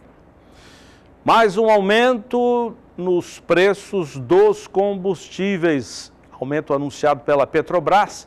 Veja mais com o repórter José Cunha. A Petrobras anunciou nesta segunda-feira uma nova alta no preço dos combustíveis, especialmente no valor do óleo diesel vendido nas refinarias. A partir desta terça-feira, o óleo diesel terá um aumento de 13 centavos por litro, o que representa um incremento de 5% no total. Com o reajuste, o preço para as distribuidoras passará a ser de R$ 2,71 o litro. A gasolina também ficará mais cara. O reajuste será de 4,8%, ou seja, 12 centavos por litro. Com isso, o combustível será vendido às distribuidoras por R$ 2,60 por litro. Já o gás liquefeito de petróleo, o GLP, conhecido como gás de botijão ou gás de cozinha, ficará 5,2% mais caro. Para as distribuidoras, o valor será de R$ 3,05 por quilo, ou seja, 15 centavos mais caro. Com esse aumento, o botijão normal, aquele de 13 quilos, passa a custar R$ 36,69. De acordo com nota divulgada pela Petrobras, seus valores são baseados no preço do produto no mercado internacional e na taxa de câmbio. A nota diz ainda que é importante ressaltar que os valores praticados nas refinarias pela Petrobras são diferentes dos percebidos pelo consumidor final no varejo. Até chegar ao consumidor, são acrescidos tributos federais e estaduais, custos para aquisição e mistura obrigatória de biocombustíveis pelas distribuidoras, no caso da gasolina e do diesel, além dos custos e margens das companhias distribuidoras e dos revendedores de combustíveis. De Campo Grande, Mato Grosso do Sul, José Cunha. É, a Petrobras alega que segue o mercado internacional, os preços do petróleo, que chegam aqui em dólar. Aí o dólar subindo, isso na justificativa da companhia, o, o preço precisa se reajustar para que haja um, uma compensação diante do que tem no cenário internacional. E hoje o dólar terminou a sessão no mercado financeiro em queda. Na sessão de hoje teve também alta no índice Bovespa, é o principal índice, o Ibovespa, que mede as ações negociadas na Bolsa de Valores de São Paulo, a B3. Conosco mais uma vez ao vivo, a Sara Kirchhoff tem os detalhes para a gente. Sara. Isso mesmo, Zaidan. Vamos aos números, começando pelo dólar. O dólar esteve com uma queda mais acentuada durante a sessão de hoje e agora já no fechamento a queda ficou pequena. Vamos ver na tela. A desvalorização da moeda norte-americana frente ao real nesta segunda-feira é de 0,09% e o dólar ainda continua no patamar de R$ 5,60. E vamos lembrar, na última semana o dólar acumulou uma alta de 4% frente ao real e no mês de fevereiro ele subiu mais de 2% frente ao real brasileiro, agora no segundo mês de 2021.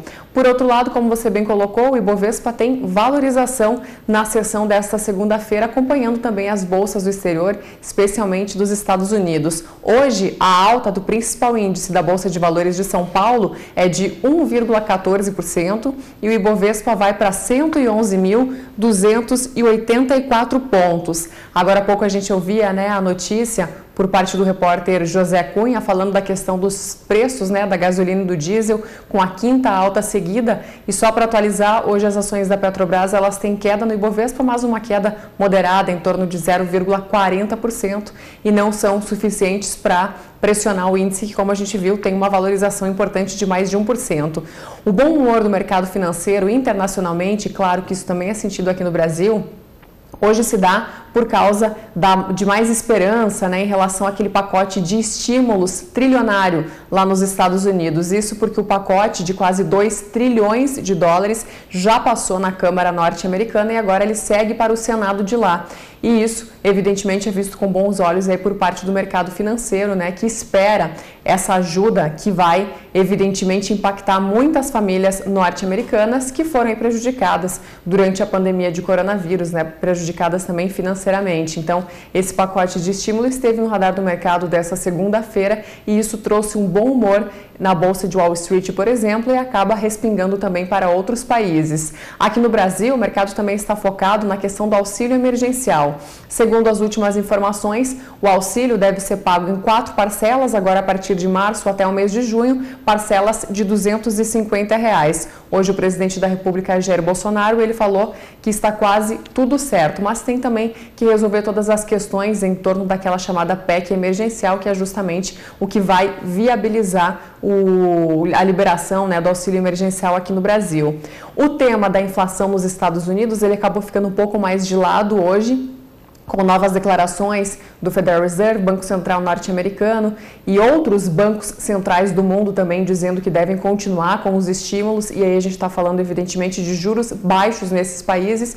Juros baixos, então, nos Estados Unidos trazem traz tranquilidade para os países emergentes. Hoje, então, nessa segunda-feira, o cenário é esse, uma queda, leve queda agora no fechamento para o dólar, uma queda frente ao real e uma alta no Ibovespa acima de 1%. Depois eu volto com mais informações, Aidan, para trazer o fechamento do mercado agropecuário dessa segunda-feira com você.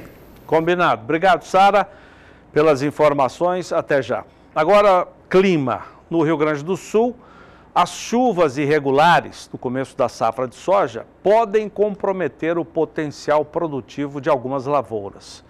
As alterações do clima devem ser ou podem ser resultado da permanência do fenômeno Laninha, que pode se estender até o segundo semestre do ano. A repórter Viviane Lara está em Cruz Alta, no Rio Grande do Sul, e ao vivo traz mais informações para a gente. Viviane, muito boa tarde, seja bem-vinda. Já é possível saber de quanto será esse impacto? Ainda não, Zaida. Boa tarde para ti, boa tarde a todos que estão nos acompanhando. Ainda é cedo para saber o verdadeiro impacto da estiagem na safra de soja aqui no Rio Grande do Sul. Vamos lembrar o que aconteceu? Lá no período de implantação da cultura, faltou umidade no solo. Teve locais aí com mais de 60 dias sem chuva, o que atrasou o plantio. Também teve produtor plantando à noite para tentar aproveitar a umidade do solo. Mesmo assim, muitas plantas elas acabaram morrendo e isso não tem mais o que fazer. Inclusive, a Emater divulgou na última quinta-feira que vai ter dano sim no rendimento dessas lavouras, mas ainda não se sabe de quanto vai ser né, esse dano, porque a safra ainda está em desenvolvimento.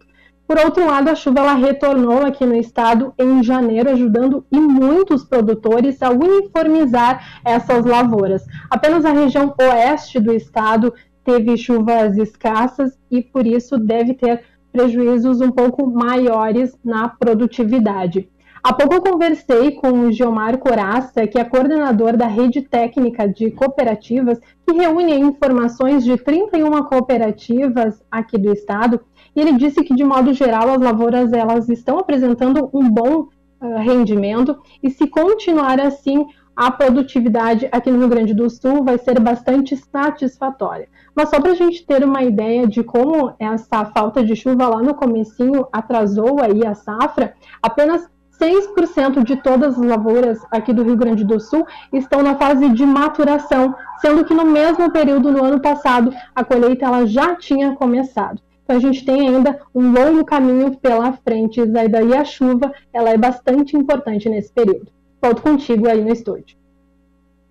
Legal. Muito obrigado, Viviane Lara, que está em Cruz Alta, no interior do Rio Grande do Sul, onde está um escritório do Canal do Boi. Cruz Alta, que é um grande centro de produção de grãos e também um grande centro cooperativista de leite. Tem uma importante cooperativa de produtores de leite por lá. Ou seja, Cruz Alta é, é um centro de excelência na produção agropecuária.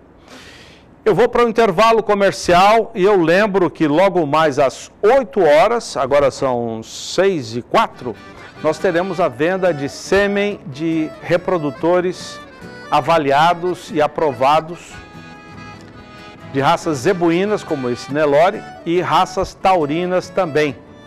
Temos o Angus, o, o Braford, tem o Cindy, que é outro zebuíno também, de criador para criador, no Genética BR. Hoje à noite, a partir de 8 horas, aí está o Cindy, tem o Cindy Mocho também. Esse é o Cindy padrão né, de chifre. E a realização é da Connect Leilões, equipe do Silvestre Marinho. Logo após o Na Batida do Martelo. Nós já voltamos.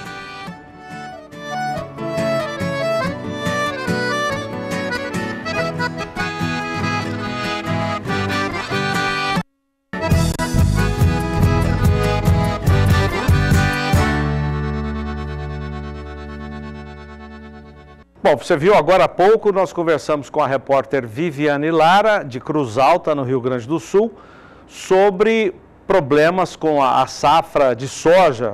Ela citou a safra de soja, mas outras culturas também prejudicadas com as chuvas que são irregulares. Isso acaba prejudicando o trabalho do produtor. E dizem que essas chuvas irregulares podem ser resultado da permanência do fenômeno climático Laninha. E, inclusive, as informações são as de que esse fenômeno pode se estender até o segundo semestre deste ano.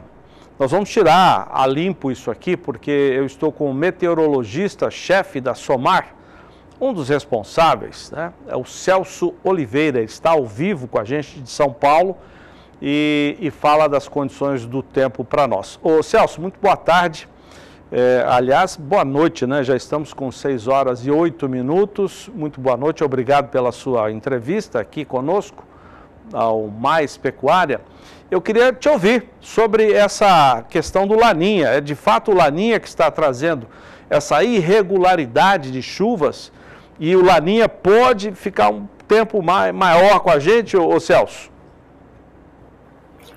Boa noite, Jorge Zaidan, boa noite a todos. Pois é, um dos motivos é esse, é justamente o Laninha, o resfriamento das águas do Oceano Pacífico. Por que, que eu digo que é um dos elementos?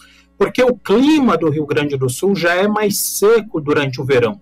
E o Laninha ele acaba evidenciando mais esse padrão. Então, uh, estamos com chuvas mais irregulares, embora nesta semana especificamente haja previsão de chuva mais intensa sobre as regiões de Passo Fundo, Santa Rosa e Erechim, acumulados uh, previsto agora, previstos nos próximos cinco dias na casa dos 50 milímetros, é uma excelente chuva, justamente no período que a soja mais precisa de água, mas à medida que a gente avança para a depressão central, para a fronteira oeste, para a campanha, os acumulados previstos agora para os próximos dias são mais baixos. A expectativa é de chuva mais intensa, então, na metade norte do Rio Grande do Sul, que é a área majoritária uh, de produção de soja, mas preocupa sim a situação em outras áreas produtoras onde o acumulado não é tão alto. E com relação ao fenômeno Laninha, ele até está em tendência de enfraquecimento.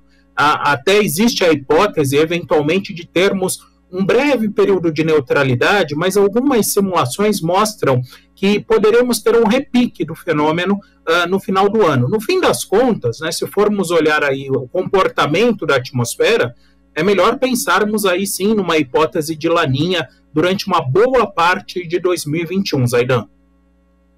Celso, é, de uma maneira geral, você deu uma, um, uma panorâmica para o Rio Grande do Sul. O que, que nós podemos dizer para outras regiões do país? Problema aí associado agora é excesso de chuva nos portos. Choveu demais nesse fim de semana no porto de Paranaguá, também na Baixada Santista. Ainda há expectativa de chuva forte nos dois portos. No porto de Itaituba, onde parte aí da safra de Mato Grosso sai pela BR-163, chegando até uh, o sudoeste do Pará, também a expectativa de chuvas fortes, uh, e temos aí uma situação delicada, onde uh, uma boa parte ainda da soja está por colher no Brasil. Agora, nesse final de verão, início do outono, é normal termos chuvas mais persistentes em Mato Grosso, Goiás, Minas Gerais, Mato Piba, e além disso fica toda a dúvida, né, já que estamos falando aí de agricultura de uma forma geral, fica toda a dúvida com relação ao desenvolvimento do milho safrinha. Vale salientar o seguinte, que em anos de laninha existe uma certa compensação. Você tem o atraso da chuva da primavera, está tudo atrasado agora, a chuva atrasou demais, durante a primavera, mas o outono costuma ser mais úmido em anos de laninha. A grande questão é que o atraso é tamanho que fica a dúvida se essa chuva que vai prosseguir pelo menos no início do outono, ela será suficiente para alcançar todo o ciclo da segunda safra e do, do milho. Isso sem contar também, mais lá para frente, Zaidan, a questão da entrada das ondas de frio entre o final de maio e junho, principalmente nos estados do Paraná e Mato Grosso do Sul. Legal. Ô, Celso, nós estamos em março, né? Logo, logo teremos o início do outono e uh, a seca, né? Uh, atrapalhando as nossas pastagens. Tem alguma informação já antecipada para a gente falar do outono?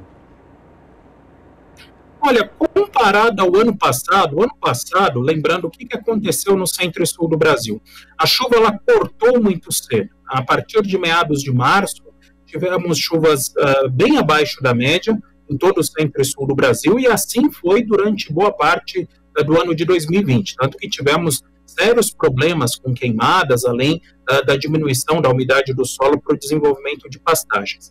Qual que é a situação agora, Zaidan? A expectativa é que, embora a previsão seja até de chuva inferior à média, Uh, tenhamos ainda uma boa frequência de chuva no centro e sul do Brasil em março e também em abril. Então, comparando com o ano passado, embora não exista a previsão de grande volume de chuva, há uma expectativa de chuva frequente, pelo menos aí até o até final de abril aproximadamente, o que deve manter a umidade do solo em situação razoável pelo menos até meados aí do outono. Depois disso, naturalmente, essa chuva vai diminuindo, como aconteceu, por exemplo, no ano passado. Mas, realmente, comparando a 2020, a expectativa é de um outono, pelo menos o início do outono, mais úmido do que foi 2020.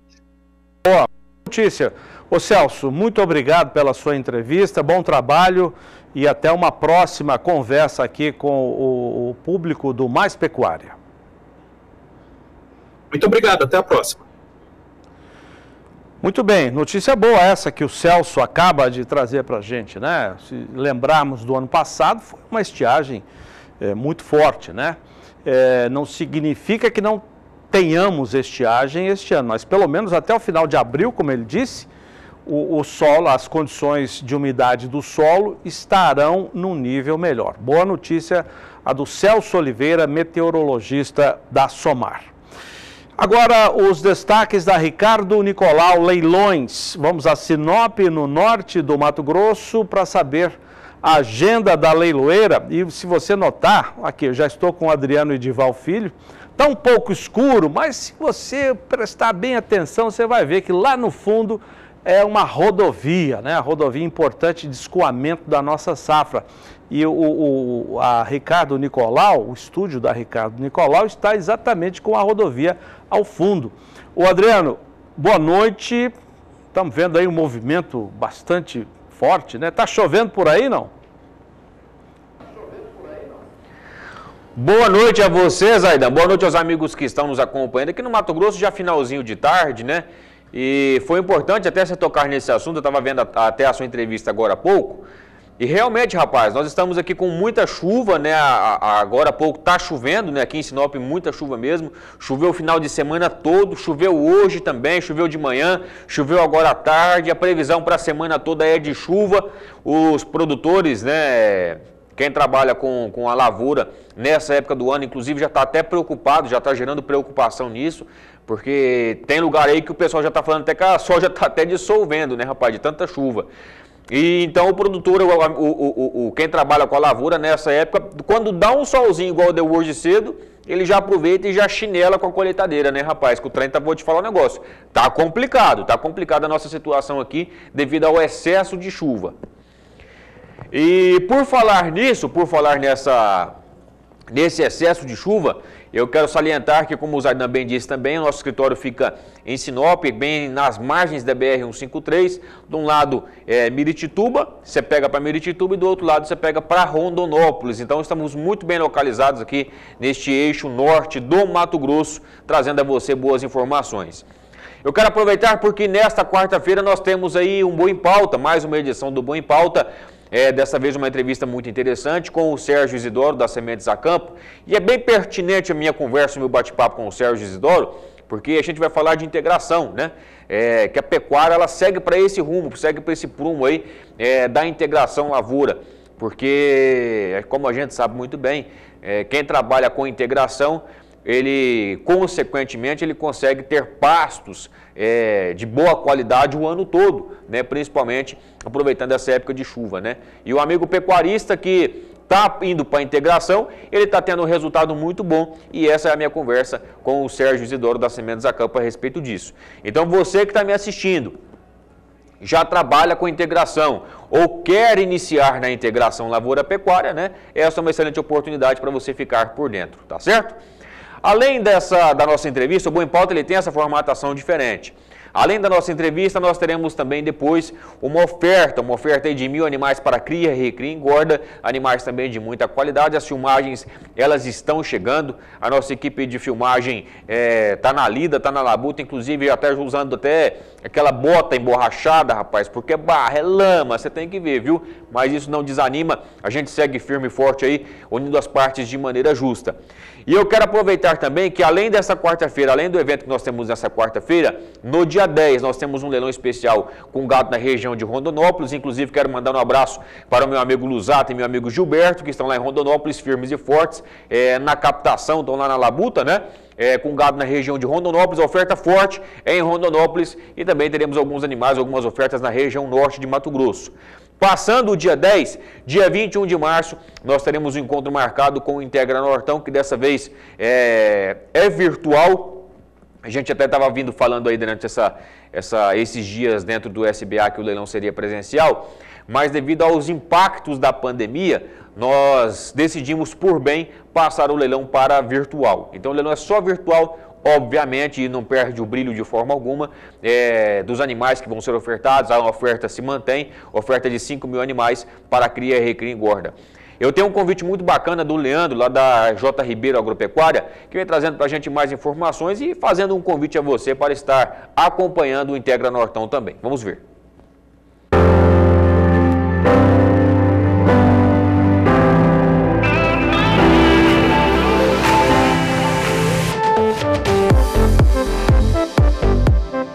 O Integra Nortão, ele é mais do que um leilão.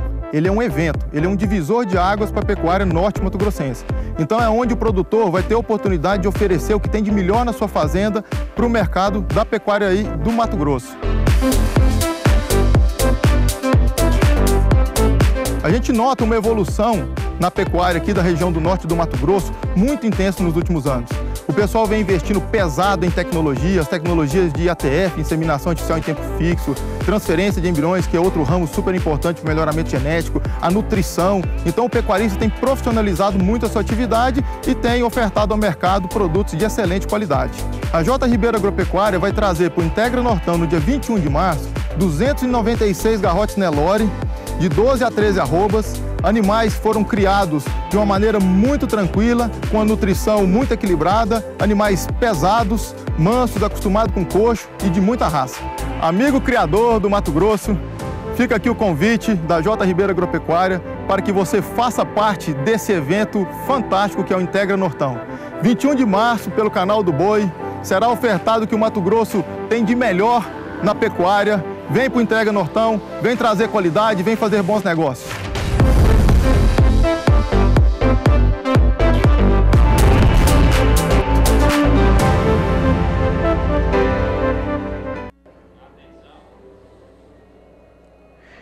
É isso aí, pessoal. Integra Nortão trazendo muita qualidade. Só para você ter uma ideia, nós já temos confirmadas, confirmadas para o evento, para o leilão, é, 3 mil cabeças.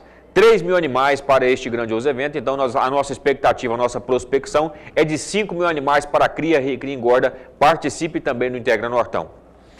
Qualquer dúvida que você tiver, 6635320077 é o telefone para você manter contato, tirar todas as suas dúvidas. Está passando por Sinop? Visite o nosso escritório. Estamos também com o escritório em Rondonópolis, Alta Floresta e também em Juara para melhor atender você, amigo pecuarista, amigo produtor.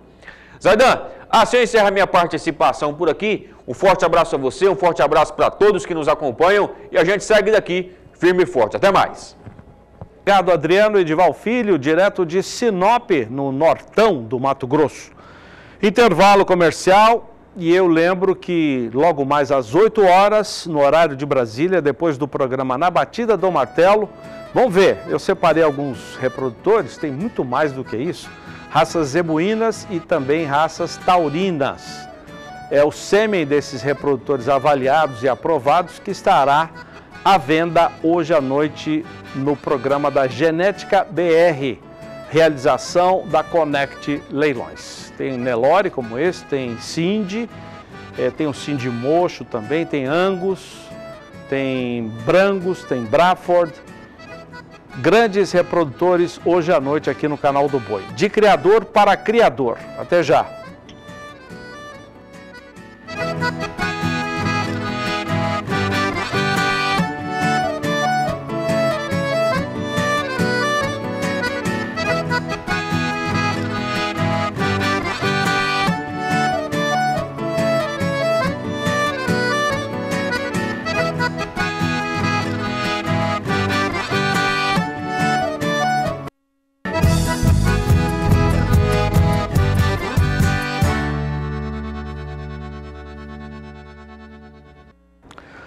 O preço do leite pago ao produtor caiu pelo segundo mês consecutivo, segundo o relatório mensal do CPEA, o Centro de Estudos Avançados em Economia Aplicada, divulgado na última sexta-feira. Segundo o boletim, o setor acumulou queda real de 6,7% no primeiro bimestre deste ano. De acordo com o CPEA, o preço do leite captado em janeiro e pago aos produtores em fevereiro caiu 2,2% na média Brasil líquida. A média Brasil é calculada com base no preço do leite pago nos principais estados produtores do país. Em fevereiro, o produtor recebeu R$ 1,98 por litro. Foi a primeira vez em seis meses que o preço ficou abaixo do patamar de R$ 2,00 por litro. Mesmo assim, o valor é 34% maior que o registrado no mesmo período do ano passado, em termos reais, e representa um novo recorde de preço para o mês de fevereiro, diz o CPEA. Esse dado, já com desconto da inflação pelo IPCA de janeiro, de 2021. O estudo aponta que a desvalorização se deve ao enfraquecimento da demanda por lácteos no cenário nacional, pelos seguintes motivos: a redução do poder de compra do brasileiro, o fim do auxílio emergencial, o recente agravamento dos casos de Covid-19 e ainda a elevação da taxa de desemprego. No mês passado, segundo o CPEA, diante da instabilidade do consumo, houve um esforço das indústrias em ajustar a produção para manter os estoques controlados, de modo a evitar quedas mais bruscas de preços, tanto para os derivados quanto para o produtor.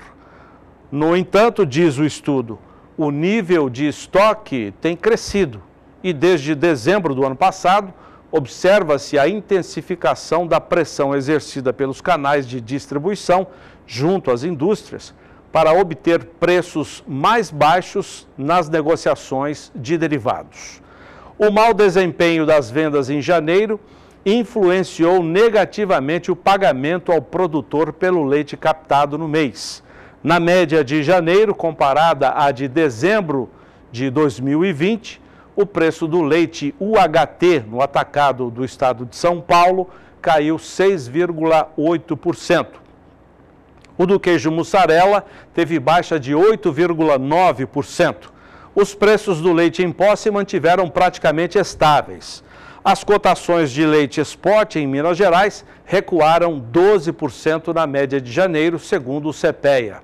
Em fevereiro, os derivados continuaram em queda, o que, segundo os pesquisadores, reforça a tendência de baixa para o produtor em março, ou seja, a tendência de que o leite captado em março tenha uma baixa paga no mês de abril. Até o dia 25, as desvalorizações foram as seguintes: de 5,4% nos preços do UHT, de 8% para a mussarela e de 7,2% nos valores do leite em pó em São Paulo. Na média mensal do leite spot, que é negociado entre as indústrias em Minas Gerais, o recuo em fevereiro foi de 0,7% na comparação a janeiro. Também no mês passado, a captação de leite pelas indústrias caiu 4,5% na comparação a janeiro, segundo o índice de captação leiteira do CPEA. A queda foi puxada pela redução média de 6,5% no volume adquirido nos estados do sul do país. A expectativa de agentes do setor, diz o relatório do CPEA, é a de que nos próximos meses a oferta se reduza ainda mais em decorrência do início da entre-safra. O relatório do CPEA também traz informações sobre o custo de produção do produtor. Em janeiro, o pecuarista precisou de mais leite para comprar insumos.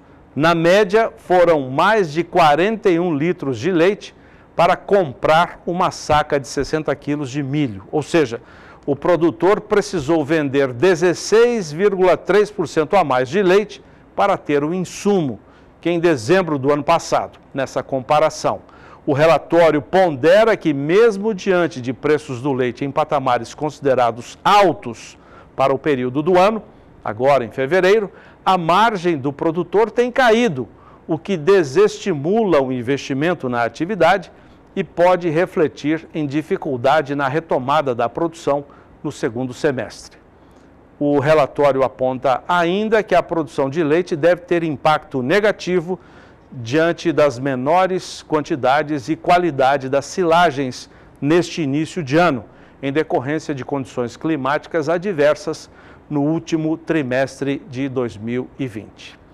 Ainda sobre esse assunto, diante das dificuldades enfrentadas pelo produtor de leite, que muitas vezes é, pensa em abandonar a atividade porque não aguenta, não suporta, fica sufocado com as altas frequentes no custo de produção, a associação de produtores, entidades eh, e os próprios produtores encaminharam reivindicações ao Ministério da Agricultura para que houvesse um apoio ao setor.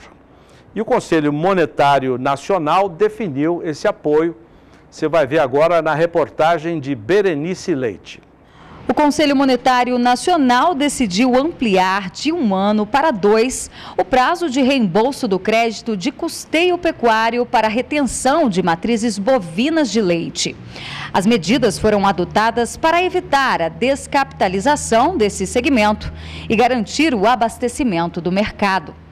E essa resolução é muito importante para o setor lácteo porque ela traz dois pontos importantíssimos. Um voltado para o produtor rural, que ela abre a linha de retenção de matrizes, uma linha muito importante para o produtor ter capital de giro, não precisar vender suas vacas e novilhas, que são patrimônio genético do seu rebanho, para poder tocar atividade com fluxo de caixa mais em dia. A gente sabe que o setor tem passado por um momento muito difícil, o preço da ração do milho, farelo de soja, passou dos 100% de aumento esse ano, o preço do leite tem caído, principalmente nesse momento, com o fim do auxílio emergencial, início de ano, que já é uma época difícil para se vender produtos lácteos, sempre os preços caem nesse momento, além de ter uma oferta maior em função das chuvas.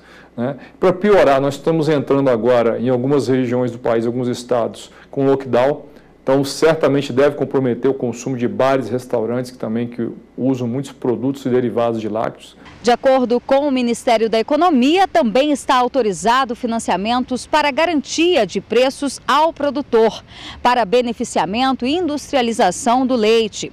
O limite de crédito é de até 65 milhões de reais por empresa, com taxas de juros de 6% ao ano e prazo de reembolso de até 240 dias. Essa linha da retenção de matrizes vai ajudar os produtores nesse momento a ganhar fôlego né, e não precisar vender seus animais para poder seguir produzindo. A crise teve início no ano passado, quando entidades do setor leiteiro manifestaram a insatisfação diante do aumento do preço dos insumos e a abertura de mercado para a importação de lácteos. Na semana passada, a Confederação da Agricultura e Pecuária do Brasil se reuniu com superintendências de desenvolvimento regional para buscar apoio financeiro e conter a crise, já que para este ano não há expectativa de recuo no preço dos insumos e do custo da alimentação desses animais. Muito bem. Vamos ver se essa, essa aprovação dessas medidas possa dar um socorro, né? um alívio para o, o produtor de leite. O, vamos falar agora de mercado de reposição. O produtor vende o boi gordo para a indústria, precisa comprar animal magro para seguir né, com, com o, o processo de engorda. Esse é o mercado de reposição. Vamos conferir a análise com a Tainá Drugovic, analista da Scott Consultoria. Bom, o mercado está em alta. Na última semana, considerando a média de todos os estados e categorias de machos e fêmeas amelorados, monitorados aqui pela Scott Consultoria, as cotações tiveram valorizações de 1% frente à semana anterior. A maior demanda é pelas categorias mais jovens e, com isso, somado ao cenário de oferta restrita de animais para reposição em praticamente todos os estados monitorados, são fatores que dão sustentação às cotações. Destaque para o estado de Rondônia, onde a bezerra de ano teve alta de 6,8% ou 150 reais por cabeça na comparação com a semana anterior. Para o curto prazo, a oferta limitada continuará ditando rumo nos preços dos animais para reposição. Bom, vamos continuar acompanhando o mercado. Mudando o nosso foco para a suinocultura. Uma notícia bem bacana agora. Mato Grosso do Sul inaugurou na última sexta-feira um projeto inovador na suinocultura. A granja Nossa Senhora Aparecida, instalada em Dourados, no sul do estado, é considerada a primeira do país a alimentar os atuais mais de 10 mil animais alojados com ração líquida. Pois é, é uma novidade que a gente está trazendo agora. A granja é de dois sócios, Osmar Rodrigues e Walter de Fátima Pereira. Eles investiram, segundo o governo do estado, 9 milhões de reais no empreendimento. Nós vamos conversar com o presidente da Associação dos Produtores de Suínos de Mato Grosso do Sul, a Sumas, o Alessandro Boigues. Ele está em Dourados e vai conversar com a gente pela internet. O Alessandro, é, obrigado. Como é que você vê como entidade, líder é, sindical, né, líder classista, a inauguração de um empreendimento como esse?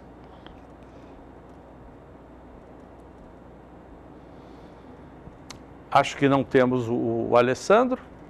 Nosso contato ficou prejudicado. Vamos ver se a gente aborda esse assunto daqui a pouquinho é, ração líquida.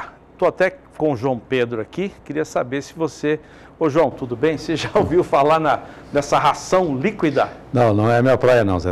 Eu, é, a suinocultura brasileira, ela, ela segue o que tem de mais moderno no mundo. Nós estamos disputando qualidade com os Estados Unidos, com a União Europeia, com o Canadá, mas eu não, sinceramente não é a minha praia essa aí. Vamos, vamos saber, quem sabe a gente consegue reabilitar o, o contato com o presidente da Sumas. Agora, o comércio internacional. Em fevereiro, o Brasil teve saldo positivo na balança comercial. O saldo ficou em 1 bilhão e 200 milhões de dólares.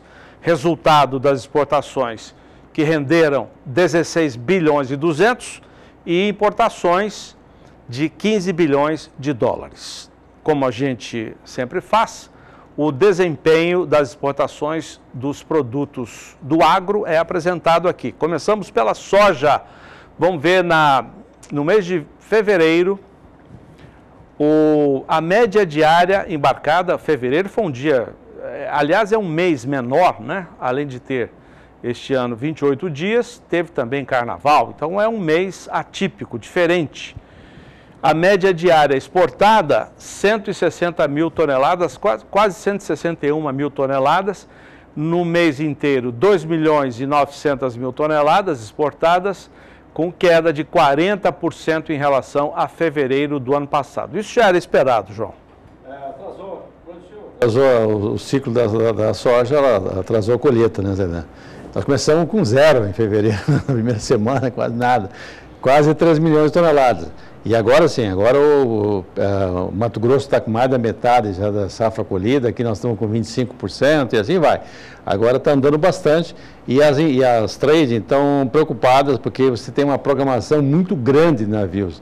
Ah, o, no mercado fala-se que tem mais de 18 milhões de toneladas de, de, de capacidade de navios programada para o Brasil agora em março, nos próximos 40 dias. Então, Hoje está uma, uma, uma, inflacionou o frete para levar até os portos ou até terminais ferroviários, que cada vez mais está tá acontecendo isso. Ou seja, Mato Grosso leva lá para Rondonópolis, embarca nos trem, Mato Grosso manda para Maringá, embarca nos trem ou em destino a Santos ou Paranaguá, ou a questão do, das hidrovias, né? especialmente a Tapajós lá com Miritituba. Então o Brasil está tá, eh, tá procurando cobrir esse atraso que tinha. A programação para fevereiro era de 7 milhões de toneladas, não, não carregou a metade, não carregou 3 milhões. Então, é, agora a preocupação é recuperar esse tempo perdido. Soja vendendo, a, o balanço comercial nosso, que era negativo, inverteu. Estamos já com um pequeno superávit da balança 1 comercial. 1 bilhão e 200, é verdade. É. Bem lembrado, bem é, lembrado. Então, é, é, essa turma que está nos assistindo é, é responsável por isso. Milho, vamos ver o que, que o Brasil exportou de milho no mês passado. A média diária foi de 45 mil toneladas, exportamos 822 mil toneladas mas uma alta não tão grande quanto a que nós mostramos na terceira semana de fevereiro, mas uma alta considerável, João, 141%. Mas não, Ainda não tem milho suficiente, né? É, milho, o mercado interno paga mais do que no, no mercado externo. E o, o que, que acontece? os, os terminais de graneleiros brasileiros, eles não são, tem pouca, tem dificuldade de operar com dois grãos. Então a, a preferência hoje é, é soja. E o, como o mercado interno paga mais, então você não, você não, tem, não tem razão de estar exportando milho. Né? É. O milho vai aumentar a exportação a partir de julho agosto, também com atraso, porque eu não vi uma lavoura eh, germinada milho no Mato Grosso do Sul até agora. Agora que essa semana que vai começar a primeiras lavouras. Eh, no sul do estado deve ter alguma coisa, mas aí para o norte não, não tem nada na, germinado, muito pouco.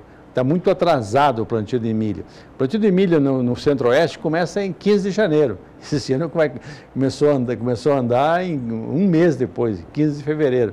Então, é, o milho vai, as exportações vão vão ser ativadas basicamente a partir de julho.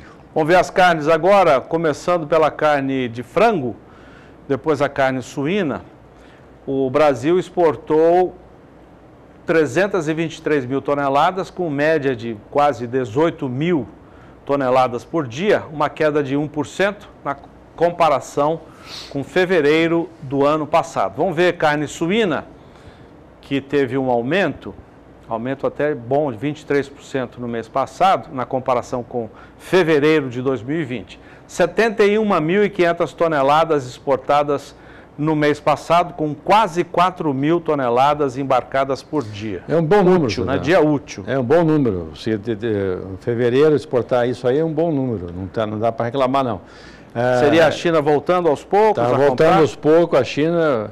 É, a grande dúvida é o segundo semestre, se a China realmente vai conseguir aumentar de forma significativa a produção interna deles porque a China foi o grande vetor de, de, de, de, aumento de preço da carne suína no mercado internacional, porque ela entrou comprando, a ideia deles era comprar 3, 4 milhões de toneladas, para poder ajudar a amenizar a falta de carne suína em função do, do, do rebanho deles, que foi muito prejudicado com a peste suína africana em 2019. Só que a China, ela, ela, quando tem que fazer, ela faz. Esse que, essa é a diferença do, do, Brasil. Ela faz uma ferrovia de alta velocidade em cinco anos. Aqui no Brasil, cinco anos é, não sai nem a licença, quanto mais a ferrovia. Então lá eles fazem acontecer. Então, e estão fazendo isso na, na, na suinicultura, mudando uma suinicultura é, mais ou menos artesanal para uma suinicultura industrial. E aí vai aumentar a demanda por soja e aumentar a demanda por milho. Milho hoje, a China que não, que não aparecia nas estatísticas como grande consumidor, importadora de milho, já começa a aparecer em função dessa mudança radical da produção de suínos na China. Para o Brasil é bom, nós chegamos a um milhão de toneladas praticamente em 2019 de carne suína, nós éramos um país que exportava 500, 600 mil, hoje nós estamos entre os quatro grandes, Estados Unidos, Canadá e União Europeia. E o Brasil disputa com esses quatro grandes do mercado internacional. Carne suína é uma carne que nós temos condições. Né? A nossa tecnologia é muito boa, como nós estávamos comentando antes, né? muito boa a tecnologia brasileira. Nós estamos de tecnologia de ponta, dá para brigar com qualquer um país do mundo em termos de qualidade de produção. É, é infelizmente não deu para a gente conversar agora há pouco com o presidente da Associação dos Produtores de Mato Grosso do Sul, que inaugurou sexta-feira uma, uma granja inovadora, cheia de tecnologia, alimentação dada aos animais, são 10 mil cabeças, 10 mil animais, é ração líquida, a gente quer saber como é que, como é que funciona isso. Aqui né, no, você tem hoje a grande produção de suíno, de suíno no Brasil, é Santa Catarina e depois Rio Grande do Sul e Paraná. Ah, o Centro-Oeste está começando a aparecer na estatística, é muito modesta a participação do Centro-Oeste. Ah, também uma grande cooperativa catarinense, a Aurora, que tem um projeto de tem um frigorífico muito grande em São Gabriel do Oeste, ela agora anunciou que tá, investiu pesado numa, numa, numa granja de matrizeiros em Cidrolândia, que vai ser uma top de linha também. Vai ser muito boa. Legal. Bom, João, você gostou da, da, do desempenho da carne bovina em é. fevereiro? Começou mal. mal em 2021, aos poucos parece que vai dando uma engrenada, né? Leilã, quando a gente olha a carne, carne, carne no Brasil, tem que olhar o mercado chinês. O chinês saiu fora do mercado, cai as vendas. O chinês voltou para o mercado, volta a subir. Hoje há comentário em São Paulo, não sei se você já teve, comentou isso, que tem ofertas próximas a 309, 310 para boi China. Sinal que o chinês está voltando a comprar. E, e o frigorífico está brigando com os chineses para ver se consegue passar para 5.400, 5.500 o preço médio da carne exportada para o mercado chinês. Mas não foi o preço de fevereiro. Vamos dar uma olhada primeiro no volume exportado de carne bovina. A média diária, 5.670 toneladas. E o Brasil exportou 102 mil toneladas em fevereiro, queda de 7%. Vamos ver o preço. O preço que a gente é, tinha uma especulação, né, João?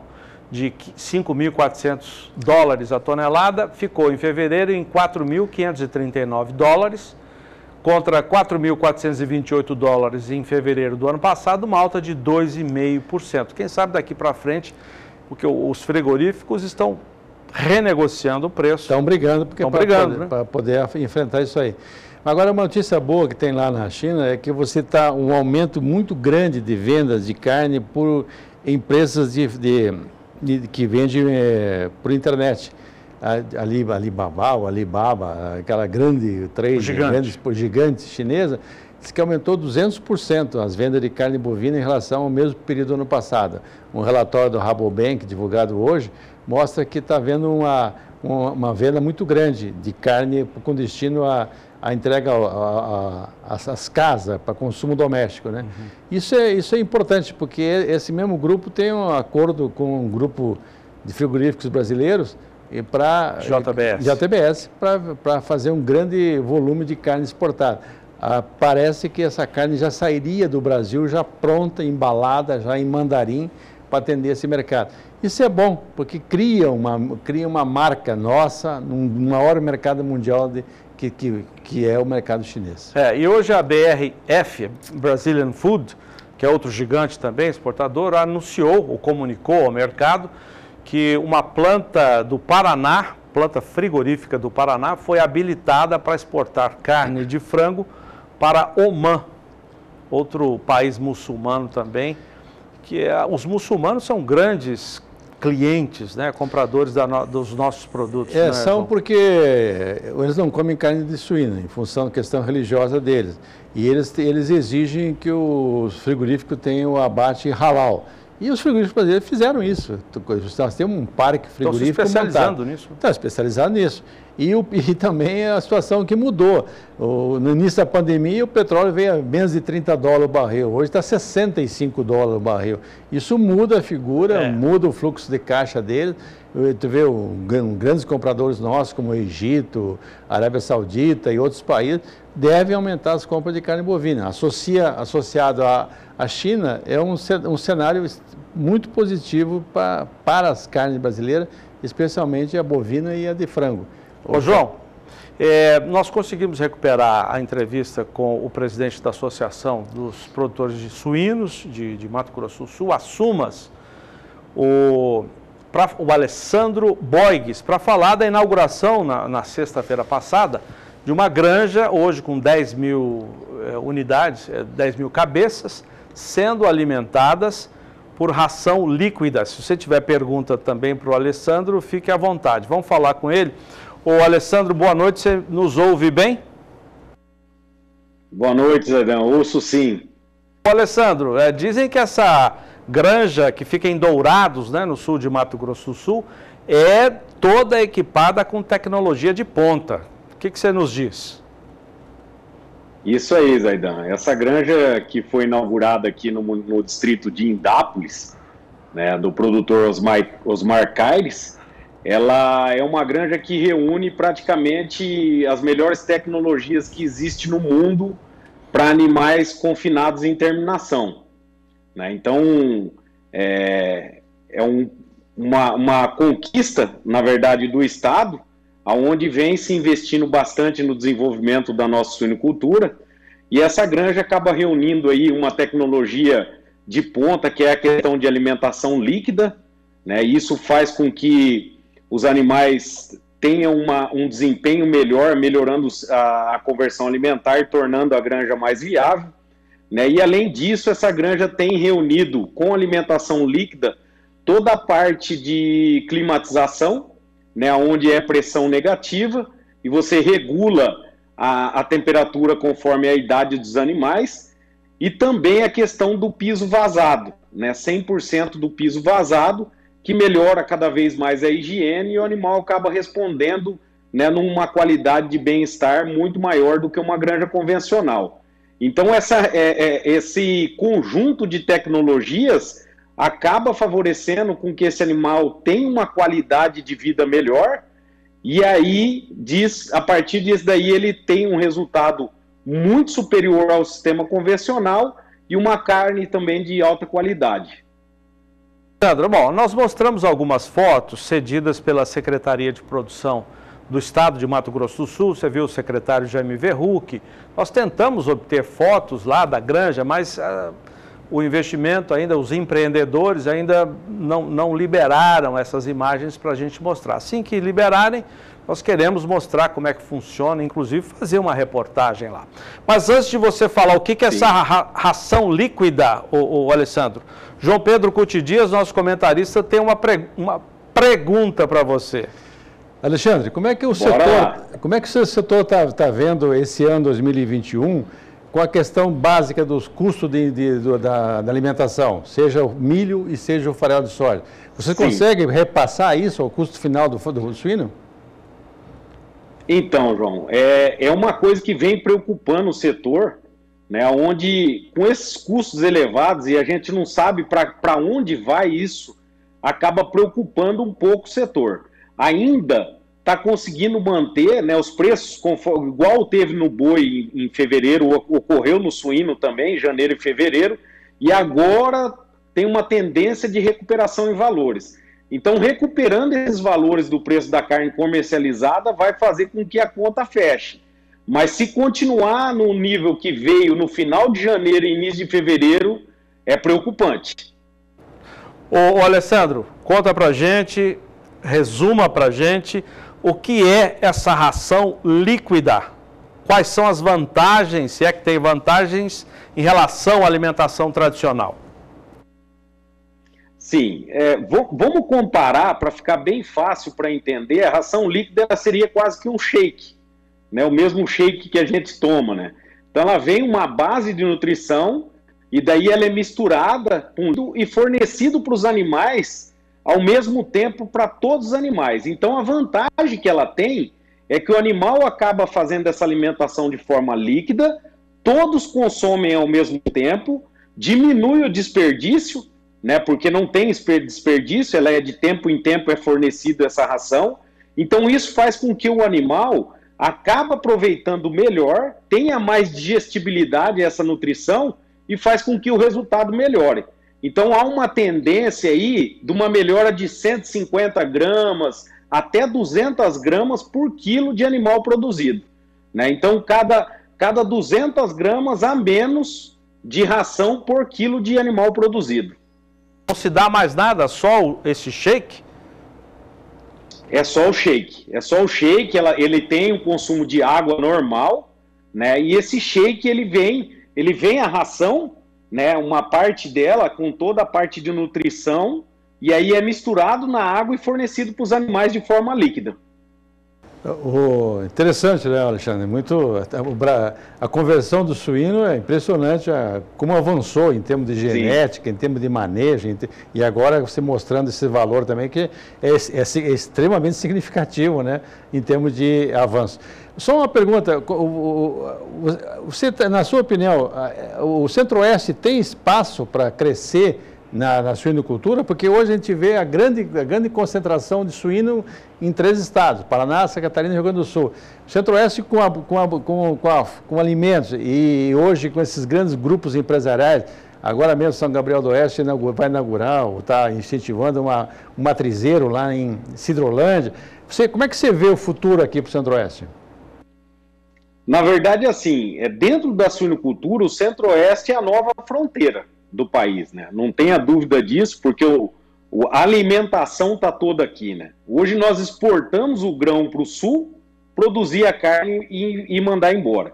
E nós temos uma vantagem que acaba sendo é, um pouco superior aos estados do sul, além do custo, né, nós temos é, condições de investimento, onde o fundo do Centro-Oeste, né, o FCO acaba dando essa condição e além disso, nós temos uma, uma barreira, é, nós não temos uma barreira que o Sul tem, que é a questão ambiental. Nós temos áreas para produzir essa suinocultura e fazer o, o, a reutilização do, do subproduto do suíno, que na verdade acaba sendo dejeto, para usar em pastagens, em, na lavoura, e isso daí faz com que é um, um grande potencial também para as nossas áreas. Então a tendência realmente a suinocultura ir aumentando no centro-oeste e o que precisar migrar do sul vai migrar para o centro-oeste devido a todos esses fatores que eu falei. Né? Para vocês terem ideia, é, São Gabriel tá, tá com abate elevando aí para 10 mil cabeças dia, aqui para 5 mil cabeças por dia. Aqui em Dourados é uma, uma tendência vir para 10 mil cabeças dia. Né? Tem essa granja nova, que é de uma cooperativa é, aliada à Aurora lá em Cidrolândia, que vão investir na casa de 100 milhões de reais. Teve essa granja inaugurada lá em, em Rio Verde do Mato Grosso, que foi uma granja multiplicadora de genética ligada a outra cooperativa que é afiliada da Aurora, né, que foi uma casa de 50 e poucos milhões de reais. Aqui no sul do estado, Só no ano passado nós tivemos investimentos na casa de cento e próximo a 150 milhões de reais para construções de granjas novas. Então o Estado vem numa, numa crescente muito acelerada para aproveitar toda essa situação que está tendo no mercado. Em virtude a todos os problemas que houve lá na Ásia com a suinicultura, devido à peste suína, né, isso daí faz com que o Brasil aumente um pouco a demanda para essas exportações para lá e nós temos que crescer num nível acelerado, que já tinha o Brasil para atender, e mais essa demanda que vem tendo da China. É, essa lembrança que é. você fez da, da, questão de usar os dejetos na fertirrigação, isso é uma vantagem que o Brasil tem. Nós temos água, sol. Imagina os europeus que têm que juntar durante todo o inverno com volume significativo de dejeto, nós ao contrário. Ah, nós temos granjas que eu, que eu passo e conheço, que o pessoal faz a fertirrigação, é uma pastagem cinematográfica. É. Alessandro, para a gente encerrar aqui, é, é, fica a curiosidade, né? Voltando ao nosso tema que é a ração líquida, o que, que tem nesse shake, nessa ração? Porque o suinocultor, como o produtor de, de, de carne de frango, enfrenta um problema sério que é o, o custo de produção do milho, né? Nesse, nesse shake não tem milho? O que, que tem nele? Tem, ele, ele vem milho, vem todo o balanço nutricional normal, que uma outra ração, porém concentração né, de nutrientes com melhor aproveitamento. Então, isso daí é o que a tecnologia vem pregando para fazer com que o, o, custo de produção viabilize ao custo da carne. Então, você imagina se um suíno é, ele gastava em torno de 2,4 kg de ração ou 2,3 kg de ração sólida para fazer um quilo de carne, né, ele melhorar 200 gramas nessa conversão e ele acabar gastando só 2 quilos dessa parte sólida e aí o restante sendo em forma líquida. Né? Então, essa diferença que é o que vai dar a viabilidade do produto lá no final, que vai fazer com que a gente consiga ter uma carne é, de qualidade sem piorar as características dela e aí tendo uma condição de custo um pouco melhor. Obrigado, Alessandro Borges, que é o presidente da SUMAS, Associação dos Produtores de Suínos de Mato Grosso do Sul. Bom trabalho, obrigado pela entrevista. João, obrigado também. Gostou da novidade? Olha, fica animado, porque a tecnologia está chegando em todas as áreas, né, como ele falou, né? Inclusive, isso é uma vantagem que o Brasil tem, né? o Centro-Oeste, o Brasil inteiro tem, de produzir em condições sustentáveis. E aqui nós temos na suinocultura, no frango, na carne bovina, todas elas nós temos que mostrar para o mundo que nós produzimos coisa com, com é, de forma sustentável. Isso é um avanço fantástico. Valeu, João. Obrigado. Até amanhã. Obrigado. Intervalo comercial, daqui a pouquinho, às 8 horas, horário de Brasília, tem as vendas do Genética BR, sêmen de raçadores das raças zebuínas, como Nelore, e tem raças taurinas também. De criador para criador, hoje, depois do programa Na Batida do Martelo, realização da Connect Leilões. Já voltamos.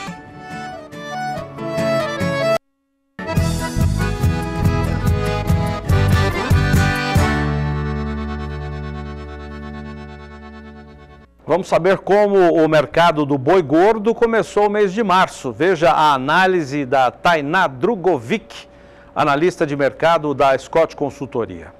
Bom, em São Paulo, as indústrias estiveram avaliando o cenário nesta manhã e algumas ficaram fora das compras. No estado, as cotações de animais para abate ficaram estáveis frente à última sexta-feira. E o boi gordo está sendo negociado em 300 reais por arroba, preço bruto e a prazo. Já para as fêmeas, os negócios para vaca gorda e para novilha gorda estão correndo em torno de 282 reais por arroba e 294 reais por arroba, respectivamente, nas mesmas condições.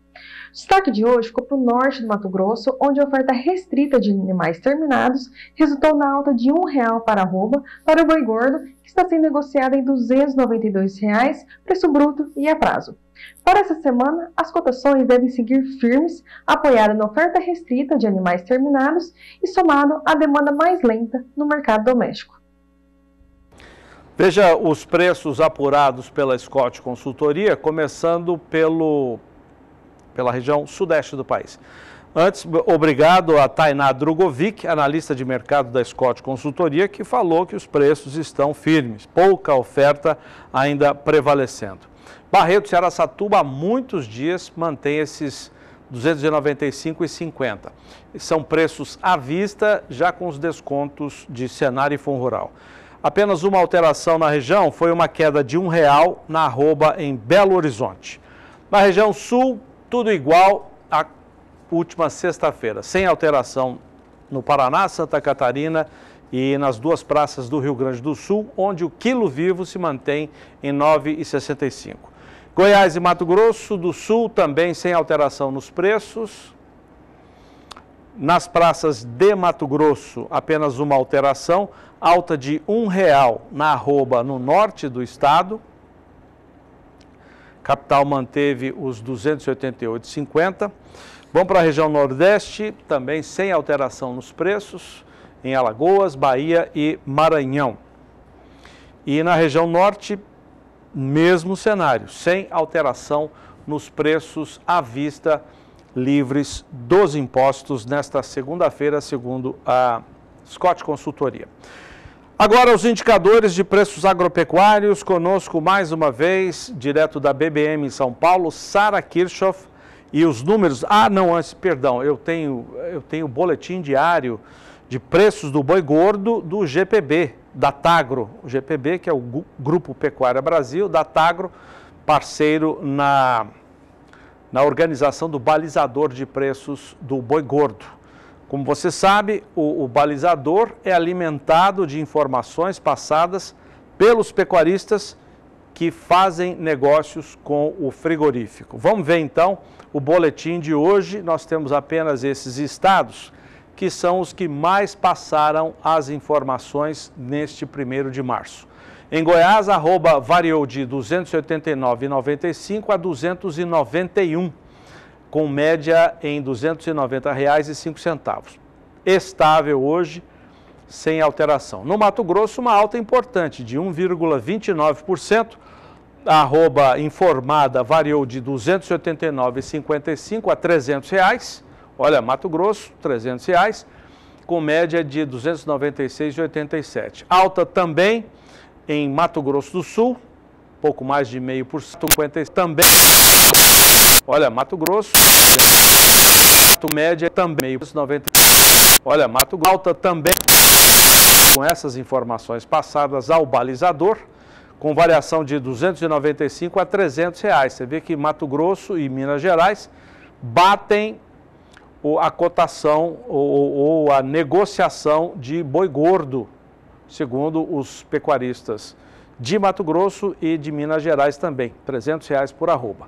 Em São Paulo, 299 a 305. Eu lembro que na semana passada nós informamos aqui um negócio de até dos 307 reais por arroba, resultado desse valor, mais R$ reais de bonificação para o chamado boi Europa. É, em Minas Gerais, preço estável. Hoje, São Paulo, 0,22%, segundo o boletim do Boi Gordo GPB da Tagro. Agora sim, vamos à, à BBM com a Sara Kirchhoff e os indicadores de preços agropecuários, começando pelo milho, Sara. Isso mesmo, Zaidan. O milho volta a registrar alta nesta segunda-feira e hoje ele recupera o patamar recorde que foi visto já no dia 25 do mês passado. Esse patamar é de R$ 85,59 a saca e ele vale para Campinas e região interior de São Paulo, que é a praça referência do CPEA. A valorização é de 0,21% no dia e também no mês, né? O mês está recém começando, mas lembrando que em fevereiro o preço do milho em Campinas, conforme o indicador, registrou uma alta acumulada de 2,5%. Como eu disse, esse patamar de R$ 85,59 é exatamente aquele patamar recorde que foi registrado pelo indicador no dia 25. E em relação ao mercado do milho, os consultores do CPEA, Centro de Estudos Avançados em Economia Aplicada, eles falam que as negociações estão muito lentas aqui no Brasil. Eles falam então sobre esse cenário de alta e ressaltam essa valorização do indicador e falam que os produtores brasileiros estão atentos à colheita da safra de verão, especialmente no sul e sudeste do país, e à semeadura da segunda safra, principalmente no centro-oeste. Eles também destacam que em algumas regiões do estado do Paraná, o interesse nas negociações é muito baixo nesse momento. Os compradores com necessidade imediata, esses acabam sim cedendo aos valores maiores. Só que no geral eles destacam que o ritmo da comercialização é bem lento e a cor. Eles eles destacam que a necessidade eles é bem lento, especialmente o ritmo do preço que a gente acabou de ver, os agentes enfrentam dificuldades logísticas. Informação então dos consultores do CPE sobre o mercado do milho. Hoje o milho no Paraná, na cidade de Cascavel, também tem valorização. Segundo o indicador da Bolsa Brasileira de Mercadorias, a alta do milho em Cascavel é de 1,27% no dia e a saca, olha só, vai para 80, 80 reais. Alta no dia, alta também no acumulado do mês, com uma valorização de quase 4% aí nos últimos 30 dias, né? Considerando os últimos 30 dias, que é a forma como o indicador da Bolsa Brasileira de Mercadorias mostra esse levantamento. Então, a valorização né, ela é vista em diferentes regiões do país, embora a situação seja diferente, como a gente acabou de pontuar aqui.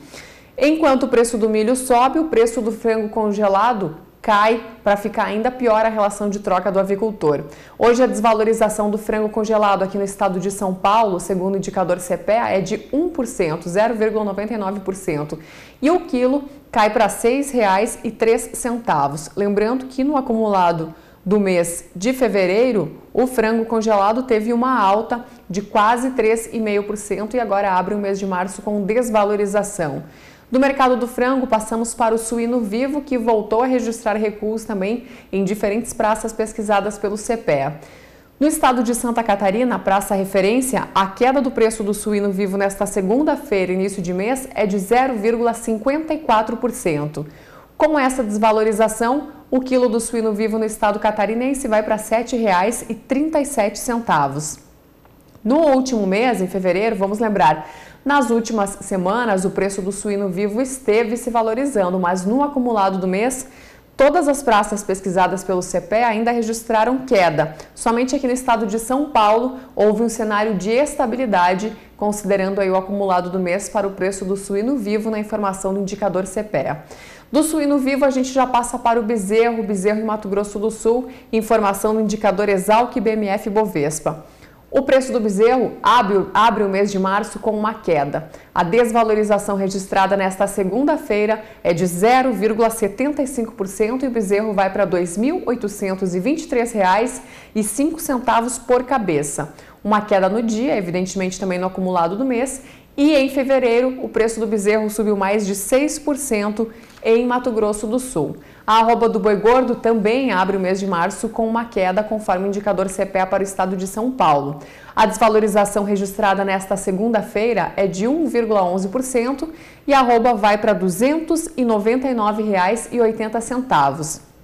Mas lembrando também que no acumulado de fevereiro a arroba subiu mais de 1% no estado de São Paulo. Já no mercado futuro, todos os principais contratos mais próximos têm valorização no mercado do boi gordo nesta segunda-feira na B3. Eu vou destacar o vencimento para o mês de julho, porque ele sobe, olha só, quase 2% nesta segunda-feira. Com essa valorização expressiva, a arroba do boi gordo lá para o mês de julho de 2021 passa dos 300 reais, está em 304 reais e 5 centavos. Esse foi então o fechamento do mercado agropecuário para essa segunda-feira, abrindo a semana e abrindo também o mês de março. Zaidan, é com você. Muito bem, que bom. Obrigado, Sara, pelas informações. Boa noite, até amanhã. Obrigado a você também. O Mais Pecuária volta amanhã às quatro e meia da tarde no horário de Brasília. Fique agora com Terra Pecuária, tudo sobre a semana de olho nas estrelas, com certeza será abordado com a equipe do Flávio Venâncio. Depois, Éder Campos e o Na Batida do Martelo. Destaque para logo após o Batida, venda de sêmen do Genética BR, realização da Connect Leilões. De criador para criador, sêmen de reprodutores de raças zebuínas e também taurinas. Bons negócios, boa noite, até amanhã.